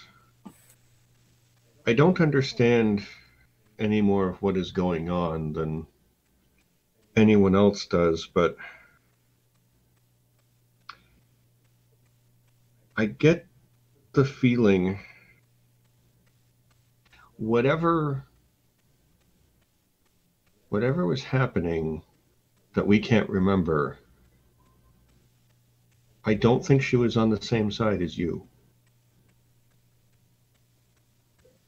do like a player me knows that her reaction like when she saw the, the symbol Uh, yeah, well, Si- uh, Silas would say she seemed.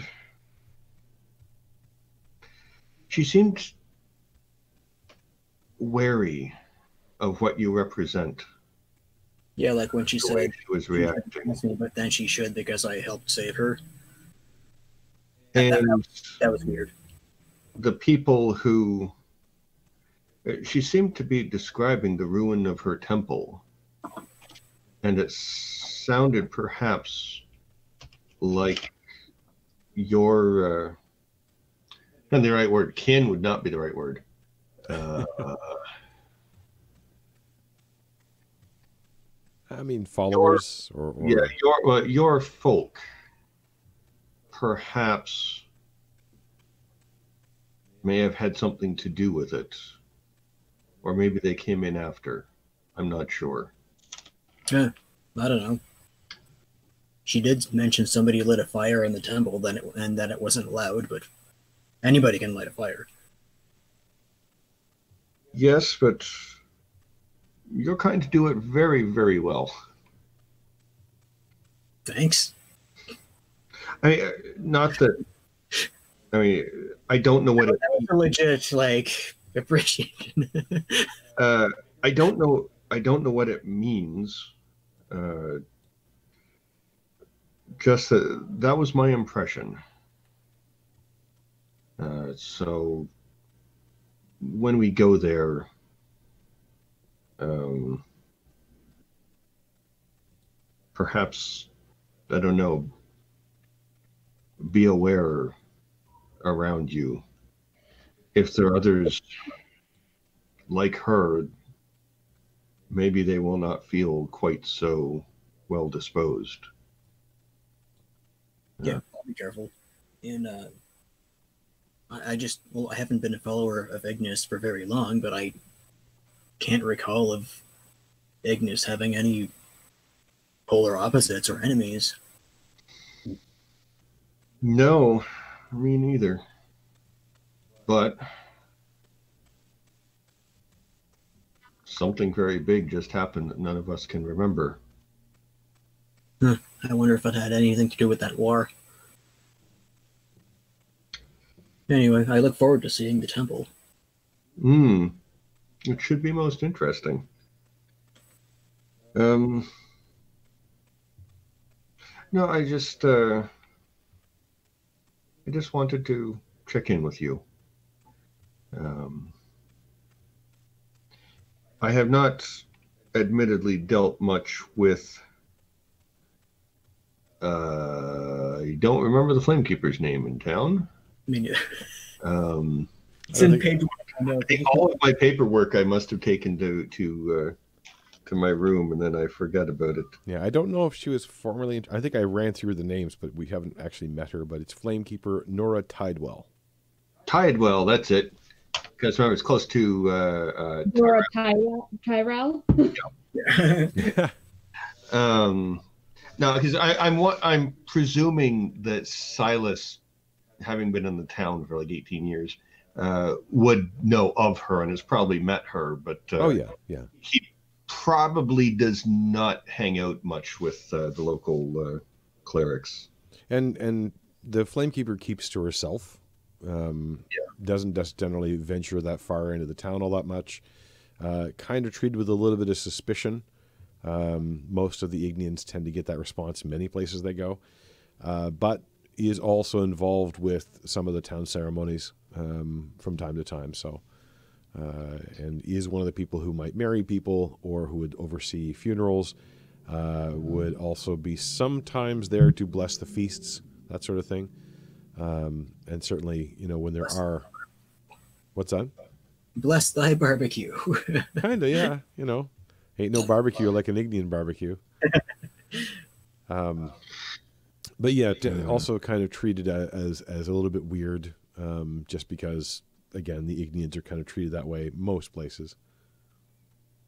Yeah, anyone who goes around doing harm to themselves uh, by their own will probably gets a little bit of a side eye. It's definitely a uh, strange uh, strange thing from the outside. Go ahead. For that reason, Medric would usually keep his amulet like kind of hidden until there's like combat or an actual reason to heal somebody. Yep.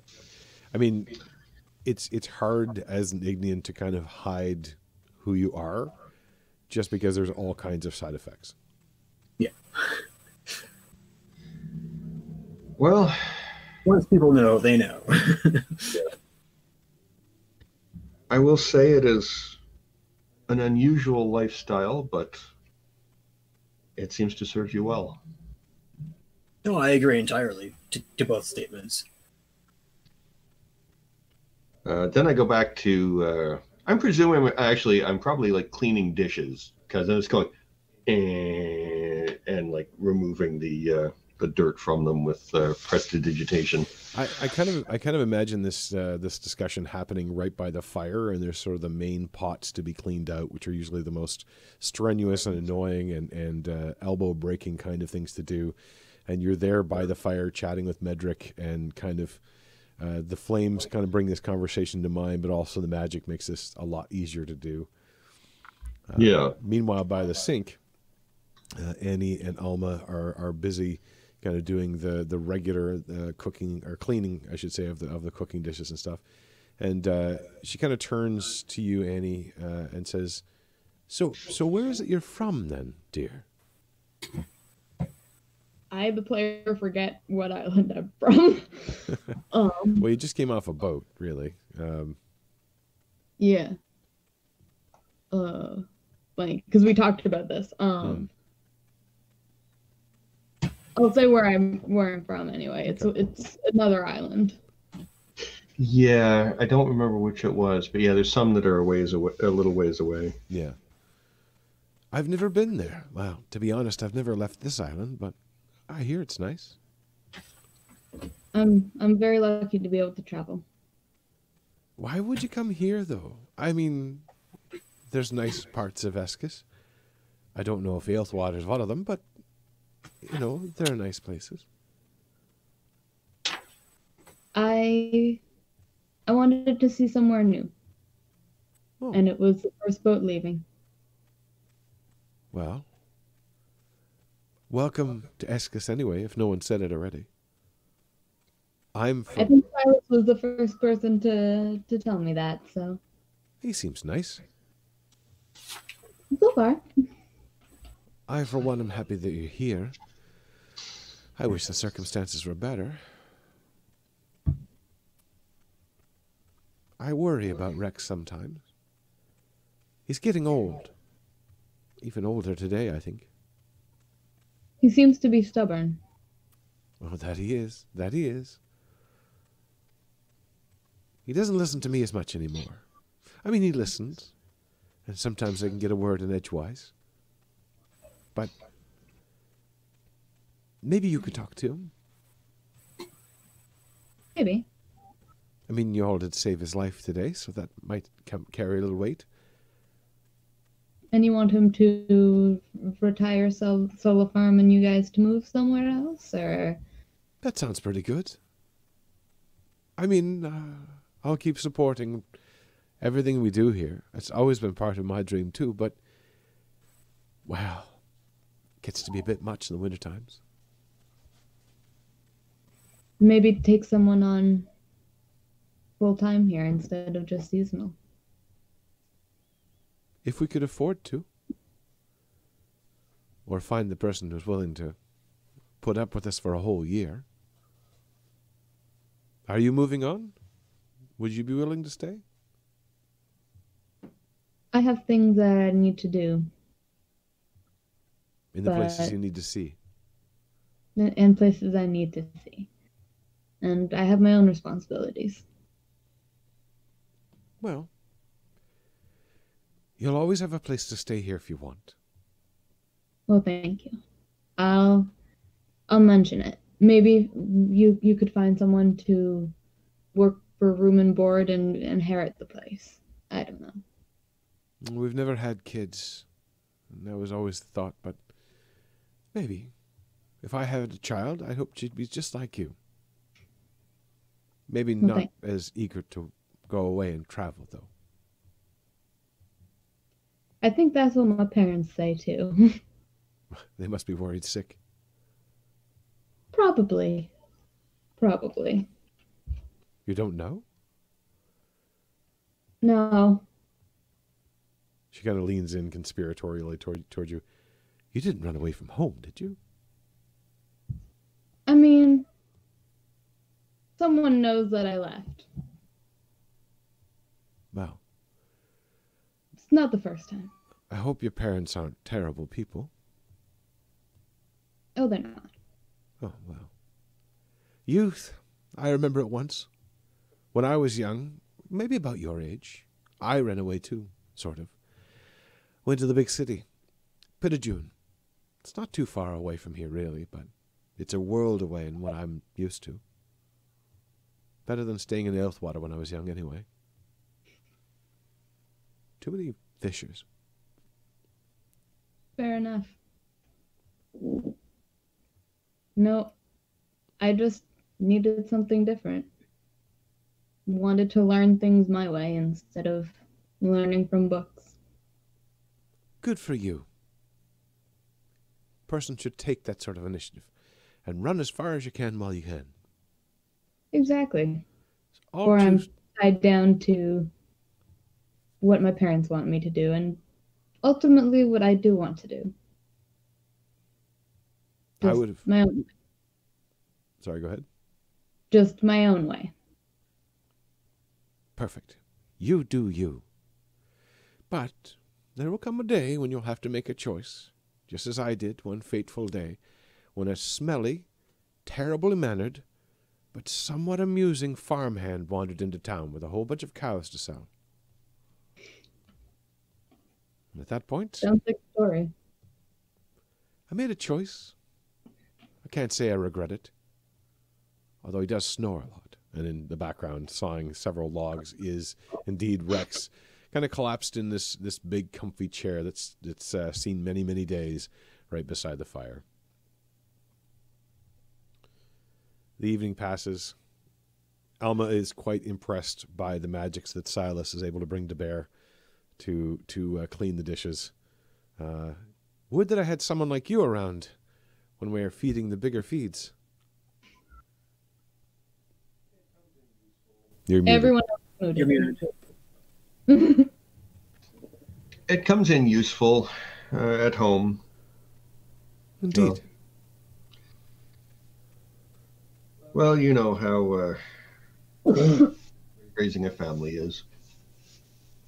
I don't, but I feel like the people we've had around in the summers and the falls have been like a family. Well, you have had to raise. Uh, I nod over to her her husband.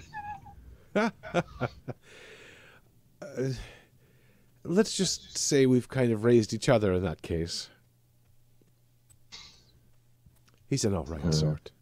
But tell me, and she kind of leans in and whispers a little bit. Do you think that his his hair is going to go back to, or is it all white forever now? I don't. I'm afraid I do not know. Um, I suspect it may be that way for a good long time. Well, Sometimes the supernatural can change people. Even just a, a casual brush with it can leave its mark. and she looks kind of distant for a moment. That's true.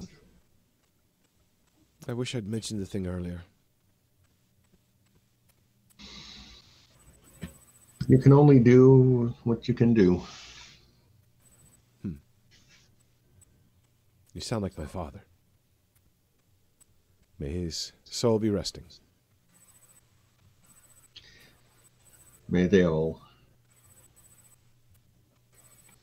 Did you say your last name was Marsh? Yeah, yes. You're not related to the other Marshes in town, are you? Yeah, yes, I am. Oh, It's my clan. oh. I. Pardon me. I, I'm. I'm just a little surprised. You don't. Um. You don't act like them. Not that there's anything. I mean. They're fine. They're not people, people, as you might say. They prefer to just stick to themselves. Yes, well, I imagine it was it was rather difficult growing up there with them. Yes, it it had its uh, peculiarities. I can see it certainly was different from those in town. Uh, seem to have been raised, but it has its upsides as well as its downsides. I tried to do right by my clan and the town. Well, from what I've heard, the the the marshes are respected. If a little bit um curious. They're a bit strange. I didn't want to say it, but you seem nice. Well, thank you. I try to be. Now, I'd better get Rex off to bed, or he'll wake up with a sore back and be all cranky about it and tell me why didn't I go make him go to sleep in his bed. Uh, we shall try not to disturb anyone. The beds are made. There's there's plenty here to eat still if you're hungry. None of you feel necessarily all that hungry, given that she's been literally trying to feed you for the last several hours. It reminds me of my great grandmother, just like, oh, would you like more? No, no, I'm good putting more on the plate Yeah, yeah. No, no, I'm Yeah. good means I just want one more plate. Yeah, yeah. Uh, but she does rouse Rex, who wakes surprisingly easily at her touch. She touches him on the side of the cheek, and his his eyes kind of shoot open and uh, and first thing he sees is her smiling face, uh, and he rouses from the chair. A little bit of difficulty. Um, you can kind of see that the day's events, not only visibly with the the hair going white, but also physically, uh, seem to have really done a number on him. Uh, he moves very, very stiffly, uh, kind of grasping on his spine uh, as he's as he's walking along. You can hear the the audible crack of of several joints uh, kind of coming back into motion and back into straightness when he he steps up. And Alma leads him. Uh, he leans a little heavier on her than you might have expected to make their way off to their their room in the back, their private chambers. Leaves you there with the fire still burning bright, and uh, you have the evening to yourselves, or you can call it an evening and get some rest yourselves if you like. Can I tell if Rex like? Uh, can Can I tell if he's a- if he actually aged or if his hair just changed colors? Make a perception check. Or, Perception med- or med- or medicine if you have it trained. Yep, and it's better than perception.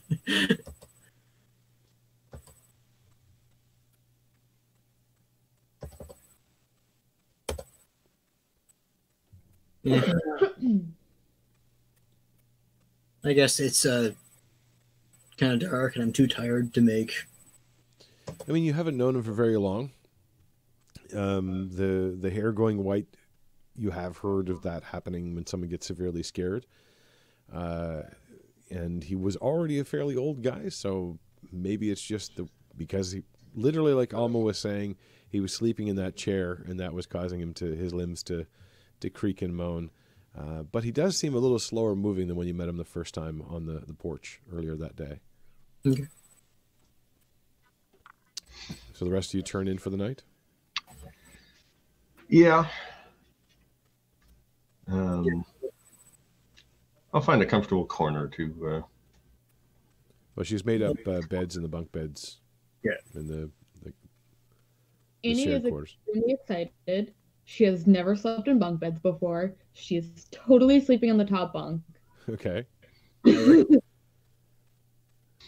Medric's feet are probably like hanging out by like six inches over the end.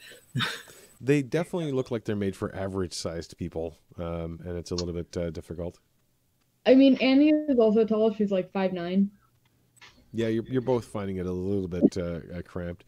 Um, the the wood of these beds is ancient. It's it's you get the feeling that they probably built this room when they built this cabin, uh, and they look like they've been they've been well maintained.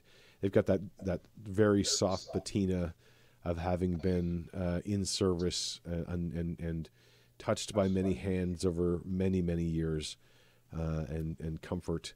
Um, they have strong uh, wood in them. They're a little bit stiff uh, with a, a, feather packed uh, topping on top. And uh, does Silas stay in the in that room, or is, is he also is he actually just staying um, in the corner somewhere? well, if she made up three beds, he would stay in one of them. Yeah. Uh, basically, there are two chambers with two double beds or two bunk beds in each room, and you guys, uh, the the the slightly uh, sweet smell of the smoke from the fire kind of wafts through the air. The rooms are, are nice and warm. The rain drops from the vicious storm it was to a steady patter overhead, and you all find yourselves asleep. Annie would go in the other room. Okay. Does Medric or Silas take a uh, a top part of the bunk bed or both on the wall? I'll take the bottom part. I'm not even trying to squeeze into the top part. Okay. I'll take the top. Okay. Annie is just too excited. It's like we've already dealt with the monster in the shadow, so it's like I, I can leave my feet hanging over the edge. No shadows is gonna get them. Could have each of you make a wisdom saving throw, please? Sorry, a charisma saving throw. Uh, Ooh, where's- five. Ooh, okay.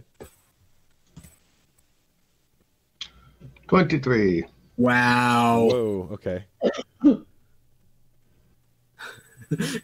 right. I'm too tired to be charismatic. Somebody speaks to me and I'm just like, I was thinking, Medric's got a plus one charisma. Oh wait, proficiency bonus. oh no, he might not have the training in it. Yeah, never mind. oh, proficiency bonus. I forgot to add it. No. So it'd be Uh, only if you're trained Yeah. in it. it would be a five. I think. Well, I think clerics get uh, wisdom and Yeah, it is charisma. I just forgot to add my proficiency Yeah, that makes sense. but it's still at that one. But it's still in that one. Yeah. All right.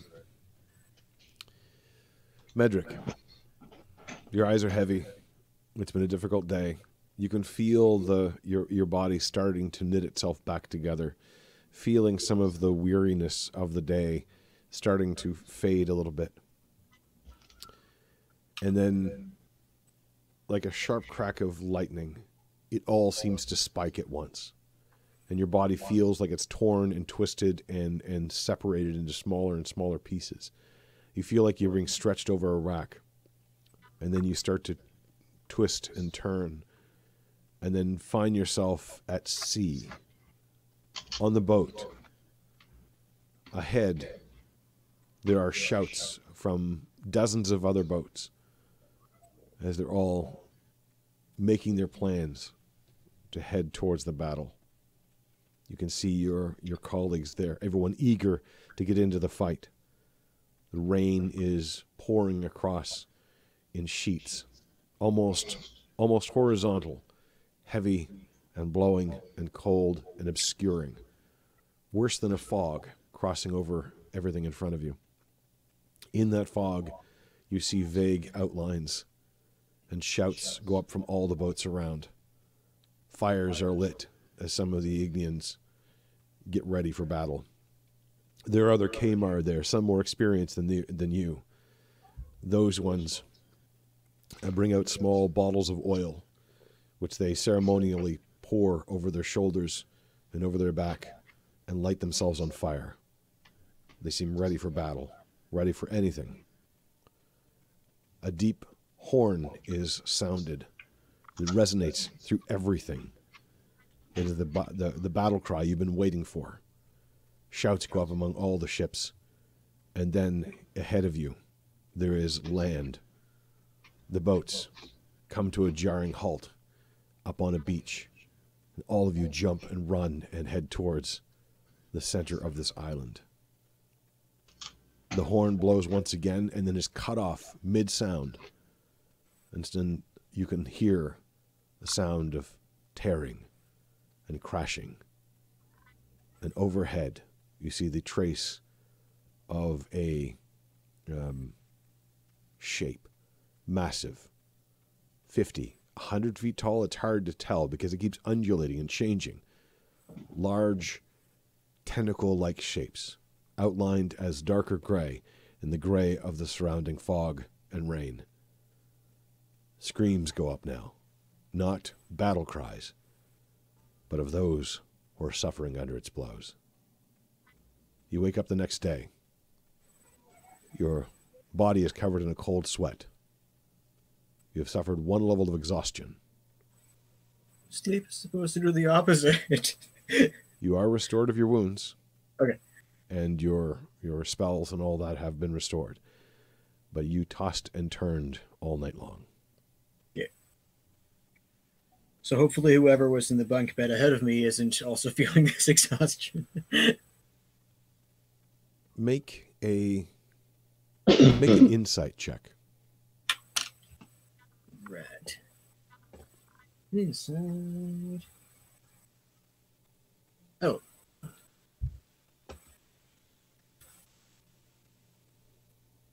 Much Nice. better. Nice. As the dream begins to fade in those first few seconds when your eyes flutter open, one image sticks with you. As you were on the beach with your fellow soldiers, as you were charging into battle, there was a figure standing there. And you realize that figure wasn't there. That figure has never been there. Mhm. It was tall and kind of gangly of dark shadow pierced with tiny little starlight dots, watching, observing, and you might even say, enjoying the nightmare. and you're left with that figure in your mind. You cannot What- see any details inside this deep dark hood other than two lights, glowing eyes, shining like diamonds.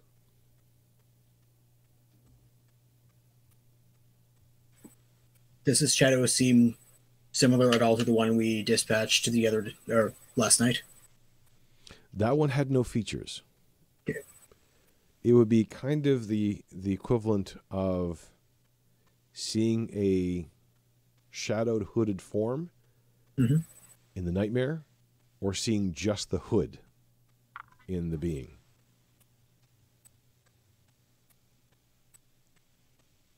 You wake up the next day. All of you wake up. It's warm. It's a little bit smoky. The fire went out in the middle of the night. It's quiet outside. The rain has stopped. The storm has passed over. You can already smell coffee being brewed, bacon being uh, cooked. You can hear the the light song as Alma sings to herself, and it's an old tale, an old song. Something Silas is probably more familiar with than the other two an old song of the sea, of lost loves, of distant memories, and of a sort of melancholy missing of your childhood. It's a weird song to be singing in the morning, but it does have a sort of easy to remember refrain or easy to to to fall into sound. And she sings- Silas sang it along with her. uh, she stops when she realizes someone's singing with her and then starts up again, smiling as you both take up the song. It's very familiar. Um, I don't have a name for it at the moment, uh, and it has several names probably. It's not really a pub standard. It's it's it's a little too sad for that. It's melancholy. Um, but uh, the both of you uh, finish the song, and uh, she kind of uh, smirks at you. I'm not surprised someone from Aelthwater knows that song. It's an old one. It has a lot of meaning. I don't know what made me think of it. It's like I heard it in my dreams or something. Oh well. Rex gets up a little bit later. This morning, Medric, you notice very definitely the deeper uh, bags under his eyes, the way his flesh seems to sag a little bit, the slower movement, the somewhat stooped back, and still the very pure white hair. In the light of day, it's clear to see he's definitely aged since yesterday. Can I tell, like, roughly how much he's aged? Uh, not at this point. Okay. Noticeably, but it could be anywhere from one to ten years at this particular age. Old farmers age quickly too. Buddy sits down at the table. Breakfast is served. It's fairly early in the morning still. Medric, you find yourself probably in, involuntarily yawning still. Yeah, and requesting like second and third and seventh like helpings of coffee. hey, it sounds like real life. She puts on a second pot. It's a it's a very dark, bitter brew. It's got a little bit of uh, grit in the bottom of the well as well, the way she makes it. And uh, you probably recognize this kind of brew as one that it's the same sort of brew that they would make at sea for Mhm. soldiers. Uh, not something you would have expected necessarily in a farmhouse, but maybe you should have. Yeah. Stacks of pancakes, some uh, probably bacon, sausage, that sort of thing. I don't want to describe the whole breakfast. I'm getting hungry. Yeah. see. Does bacon remove exhaustion? It has many magical powers, but that unfortunately is not one of them. Yeah. Uh,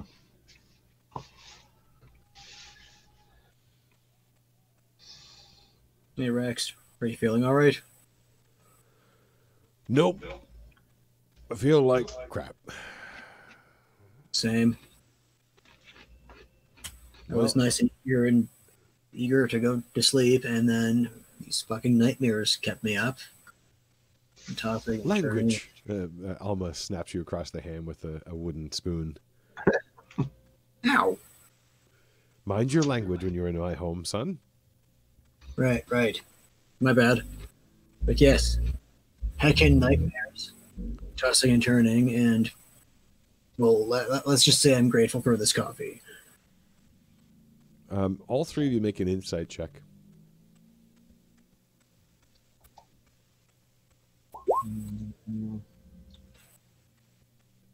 The bacon's really, really good. Both of you definitely knows the bacon is really, really good so far. All right, I'm at disadvantage, aren't I? Yeah. Wah, wah. The pancakes also taste really good. Actually, with the f- no, twelve is the best. Yeah, sorry. Oh wow, that was like my low disadvantage roll.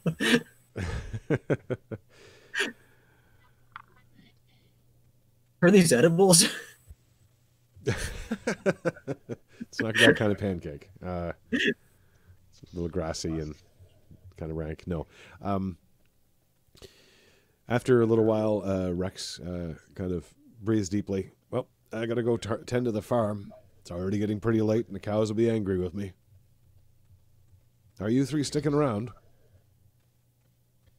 Well, we were going to go see the uh, where the cows were going missing. Oh, right, right. And maybe Now if that they're- ghosts again, go to the temple she was referring to. What's that? You know, the thing we talked about last night. Did you Oh, we talk- did. We did talk to him about that. What did you, did you talk to Rex and Alma about the ghost temple and all that? I thought we did. No, we just I- kind of said it's all Like- done. Because we did say, like, the one who did it was being possessed and the shadows was being dispatched. So that we did say, right? Yeah, Yeah, it yeah, was a that was possessed by a creature. Well, I don't know why my cows will be used at a temple, but hopefully he can find the bastards. And Alma snaps him across the back of the head with a spoon. Language. I'll kind of like snicker. At least I know it's not just me. And he kind of heaves himself up off the table, quite noticeably slower. Well, cows won't milk themselves. Chickens won't gather their own eggs. I think maybe, dear, you could do that today. Alma kind of nods, as I usually do. And he uh, says, "Well, if you're if you're going to be sticking around, I'll put you to work. If you're not sticking around, may you do well, and I hope you come back soon." We'll do our best. And there's a, a slight hesitation as he grabs his straw hat, heads out in the sunny morning, and heads over to the barn.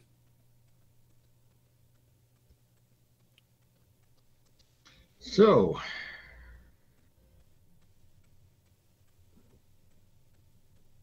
what is up? yeah, are we looking for some cows? You did talk about potentially going out to the area where the cows had been grazing yesterday. Uh, presumably, he's actually going to let the cows out to graze. Maybe not in the same spot, but uh, Rex. Yeah, we gonna- were going to go see where the, the cows had been going missing to see if there was anything else causing harm to the cows. Okay. But we didn't want to do it when predators and shit was out there. right, right. and Medric was holding on by a thread. Yes. Yeah. But Well, I Medric- uh, All right, so are you guys heading out in that direction? You can ask Rex for directions. He can let you know which which field it was up Yep. in before. Yep. Yeah, if you can let us know where to where to go. Um, actually, we might want to like take a quick look at the barn to see if our ghost friend is back.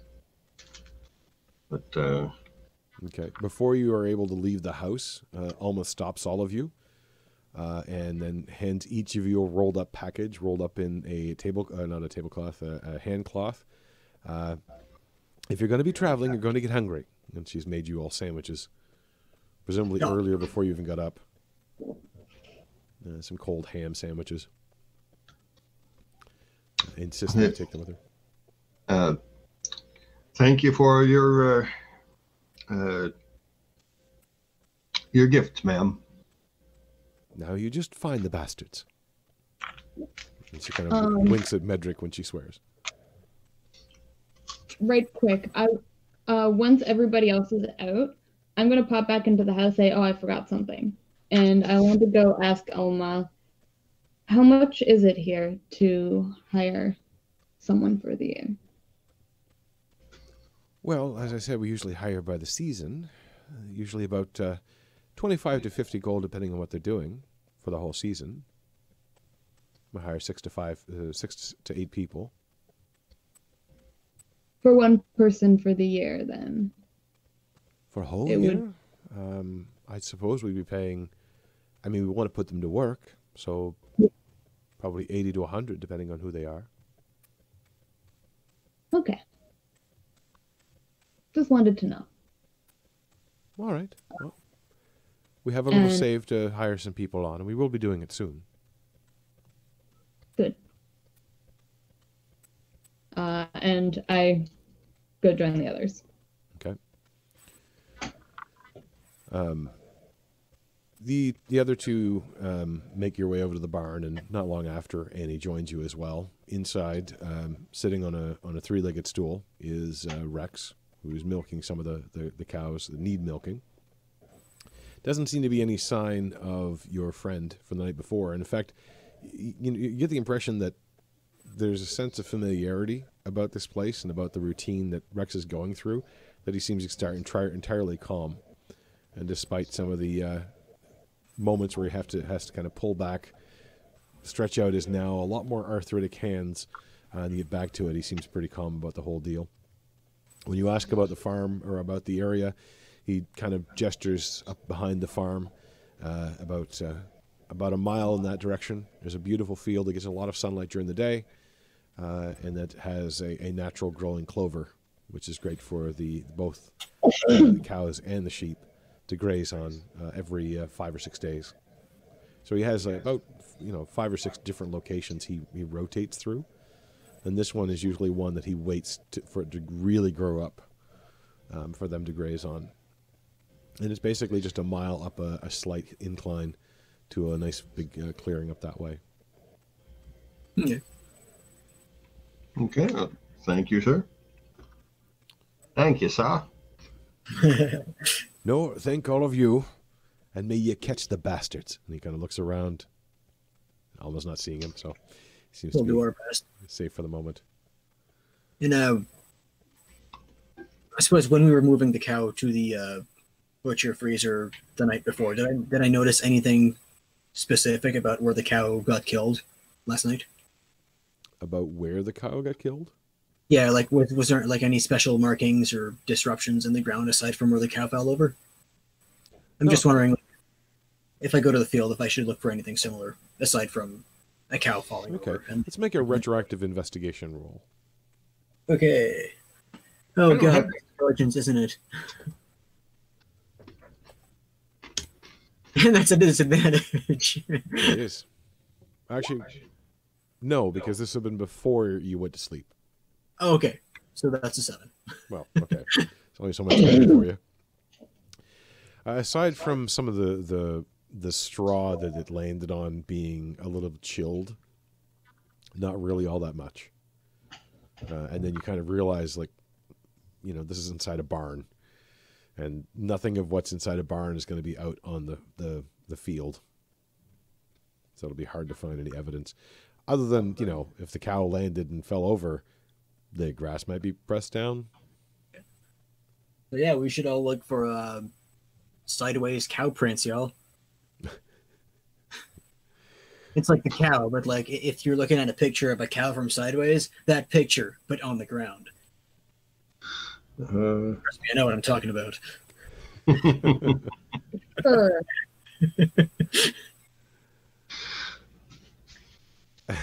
okay, so you climb the hill. Um, it's a it's a nice, gentle, soft uh, climb. Uh, again, uh, it has kind of both uh, intentionally been chosen because he was running his herd over this, but also you get the impression that he's been farming here for a long time, and probably dozens upon dozens, if not a hundred herd have well, maybe not a hundred, but dozens upon dozens of herds have run across this this same area. So whatever whatever uh, roughness there had been in the landscape was smoothed out by hundreds of hooves, uh, making it uh, kind of a soft, easy flow. The grass here becomes very uniform. You can see where he had been grazing them uh, only a few days ago. Uh, and uh, so there's lots of little nips and uh, bites out of the grass. There's a few cow pies to to avoid here and there. Uh, the clouds have cleared off today, leaving a little bit of a, uh, a hazy morning, uh, as some of the, the humidity from the last night still being burned off. And you start rising up this hill, and the clearing starts getting wider and wider until uh, at its end, it's probably 500 feet wide at this point, at the very crest of the hill. The trees have all been moved back. There's a, a rock pile in the center of this, uh, which is probably where, uh, over the many seasons, uh, Rex has actually moved whatever offending rocks might be there to create a little bit of, of, of a space around the last remaining trees. And in the center of the rock pile is indeed a, a very old, gnarled, twisted tree. Uh, probably, you know, um, I think Annie, you can kind of see that this would be one of those trees that kids you knew would have been all over this. It's a perfect climbing tree. It's a place where imaginary forts are built and where people can hide from unruly parents with all their demands uh, and never be seen with the thick foliage around it and beautiful, beautiful, uh, uh, uh, uh beautiful branches. Even as you get closer, it's one of the landmarks that, that Rex pointed out uh, as one of the central spots.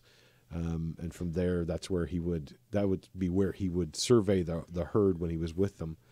Um, and in fact, you kind of see the tree, and as you kind of come close to it, you notice the overgrown but still visible carving on the side, uh, which is a little heart with R, R plus A on the side of it. Uh, probably there for a few generations. Around you is the wide open fields. On the far sides by the forest, there is a little bit of a fence that's been built up, uh, a wooden fence, just enough to keep the cows from being too encouraged to run off into the woods.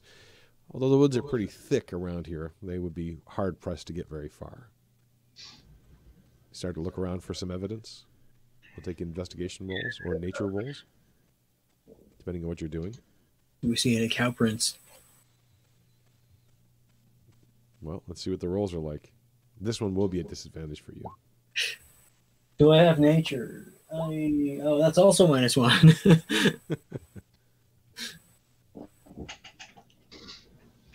I'm gonna look real close from some sideways, like for some sideways cow prints. All right. well, that's an eleven. Well, there you go.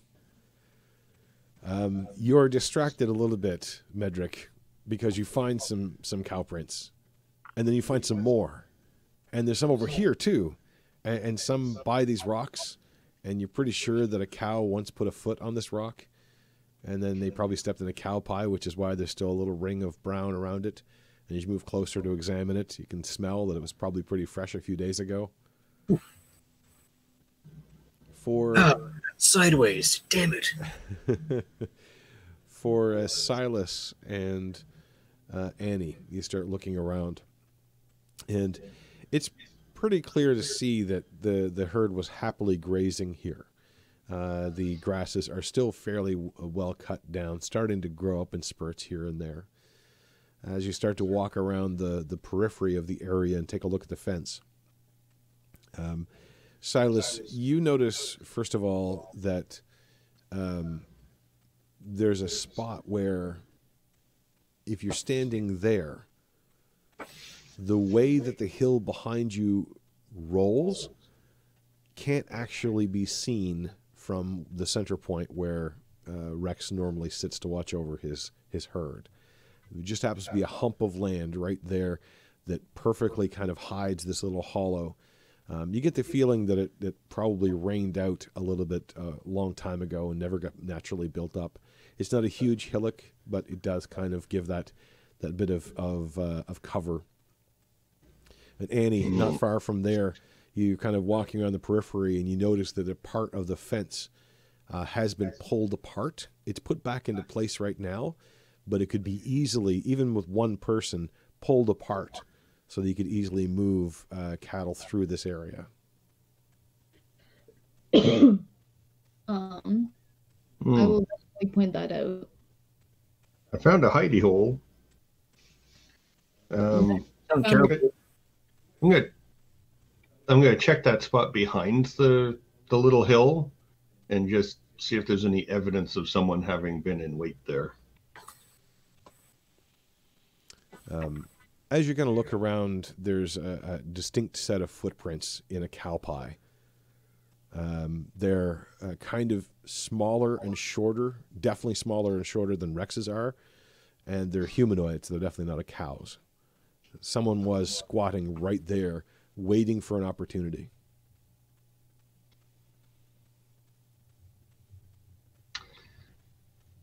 Yeah, it looks like it's cow thieves. Do the shoes match anything that Alma might have been wearing? Like, does she ever watch the cows? I don't know. You weren't really paying a lot of attention to Alma's feet, necessarily. No, I don't. But they do look to be fairly small feet. I don't imagine that there would be much of a reason for her to hide here, though.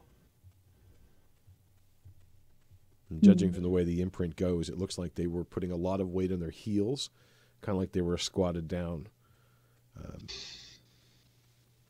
yeah, I think someone was here waiting to steal some of his herd. Kind of looking around, you also notice where there's a, a small rock with a bit of cow pie on it. Where probably, as you're reconstructing the scene in your mind, where they'd walked a few steps and then realized they'd been standing in a cow pie and went to scrape it off leaving that that evidence behind. Mm-hmm. Annie, you're examining this bit of fence, and it was lashed together, and then a wooden peg was used to normally would be used to attach the fence pieces together. Mm-hmm. Uh, it looks as though the peg was broken, and now mm-hmm. just a thin piece of of uh, branch has been used that could easily be pulled out of the way, kind of like a key and then the whole part would swing away easily. And then you could close it back up again. No one would notice unless they look closely. Hmm. On the other side, you can see that the ground, um, which is uh, at this point uh, kind of a mossy surface, there's a little bit of dry. I think we said it was spring, yes. Yeah, so it'd be dry leaves from last year, and you can see that they were turned up and disturbed. Hmm. Silas is going to look over and say, I think we're looking for some utter bastards. that feels like a great place to stop, actually, for the night. oh, I killed the game. we're going for no, a little bit shorter time. What is going on is just like. hey, there you go. Slow clap necessary. Yes, I think that. Uh, I think that's very good well, um, we've had a fight. We've had a bit of, of role playing. We've had weirdness happen. I'd say we call it a session. Uh, I am going a little bit shorter these days just because I feel like I have enough energy for a couple of hours. That's about it. Uh, we've been gone for three. Thankfully, uh, the technical issues didn't delay us too badly, but unfortunately they did. Uh, however, uh, we'll continue to do this on a regular basis. That's the idea. Um, and hopefully no more technical issues. That'd be fun. Hey, Marie, hey. how can people find out more and join in on this crazy business? Uh, we have a Facebook page. It is Legend of the Drowned Isles. I try to post. I forget, but I, I really try to post when we're when we're filming. Uh, and we have a Facebook group where we talk more. It's more interactive, uh, which is Watchers of the Drowned Isles. You can find it through the page, and someone else should take over the YouTube stuff. uh, does that does uh, uh, Nax or Pat want to jump in, or I can jump in? I'm not very good at YouTube, but all I know is that if you hit the bell icon, then you like when there's new things that happen, you get notifications so you can keep up with us. And subscribe and comment. Absolutely. Uh, on on all these places, uh, I I have my own my own uh, nick on there, ENCAF1 NCAF1 on YouTube and Twitch, uh, and just about everywhere else as well. You're welcome to to to, to join up. Uh, if you do go to YouTube, um, I'd love to know uh, how the quality fared this week. We did while I did have some technical issues in the beginning, nothing seems to have crashed. Knocking on wood, nothing seems to have stopped or hung up or anything, which I'm very happy about. Uh, I am a little bit behind on the YouTube versions. I've put up session zero. Session one is on is coming up very shortly, and this one will come up shorter, uh, quicker this week because hey, technically we have a holiday this week. Um, Hey, we do gather on Twitch. The idea is to gather on Sundays at four o'clock Atlantic, going for three or four hours, depending on right now. Currently three hours, uh, and yeah, I hope uh, you guys had fun. You know your crazy discovery of Sedona and you know the cow thieves are underway. Uh, I want to thank you guys all for joining me and for playing. And uh, and Shadow Cow Thieves. Shadow Cow Thieves. There we go. Watch out for Shadow Cows. That'll be coming up next. Thank you very much, guys, for playing. Thank you guys for watching. And uh, is it Sunday yet? No, I don't, I don't think I want to steal that one. No. Join us next time in the world of Ommatia.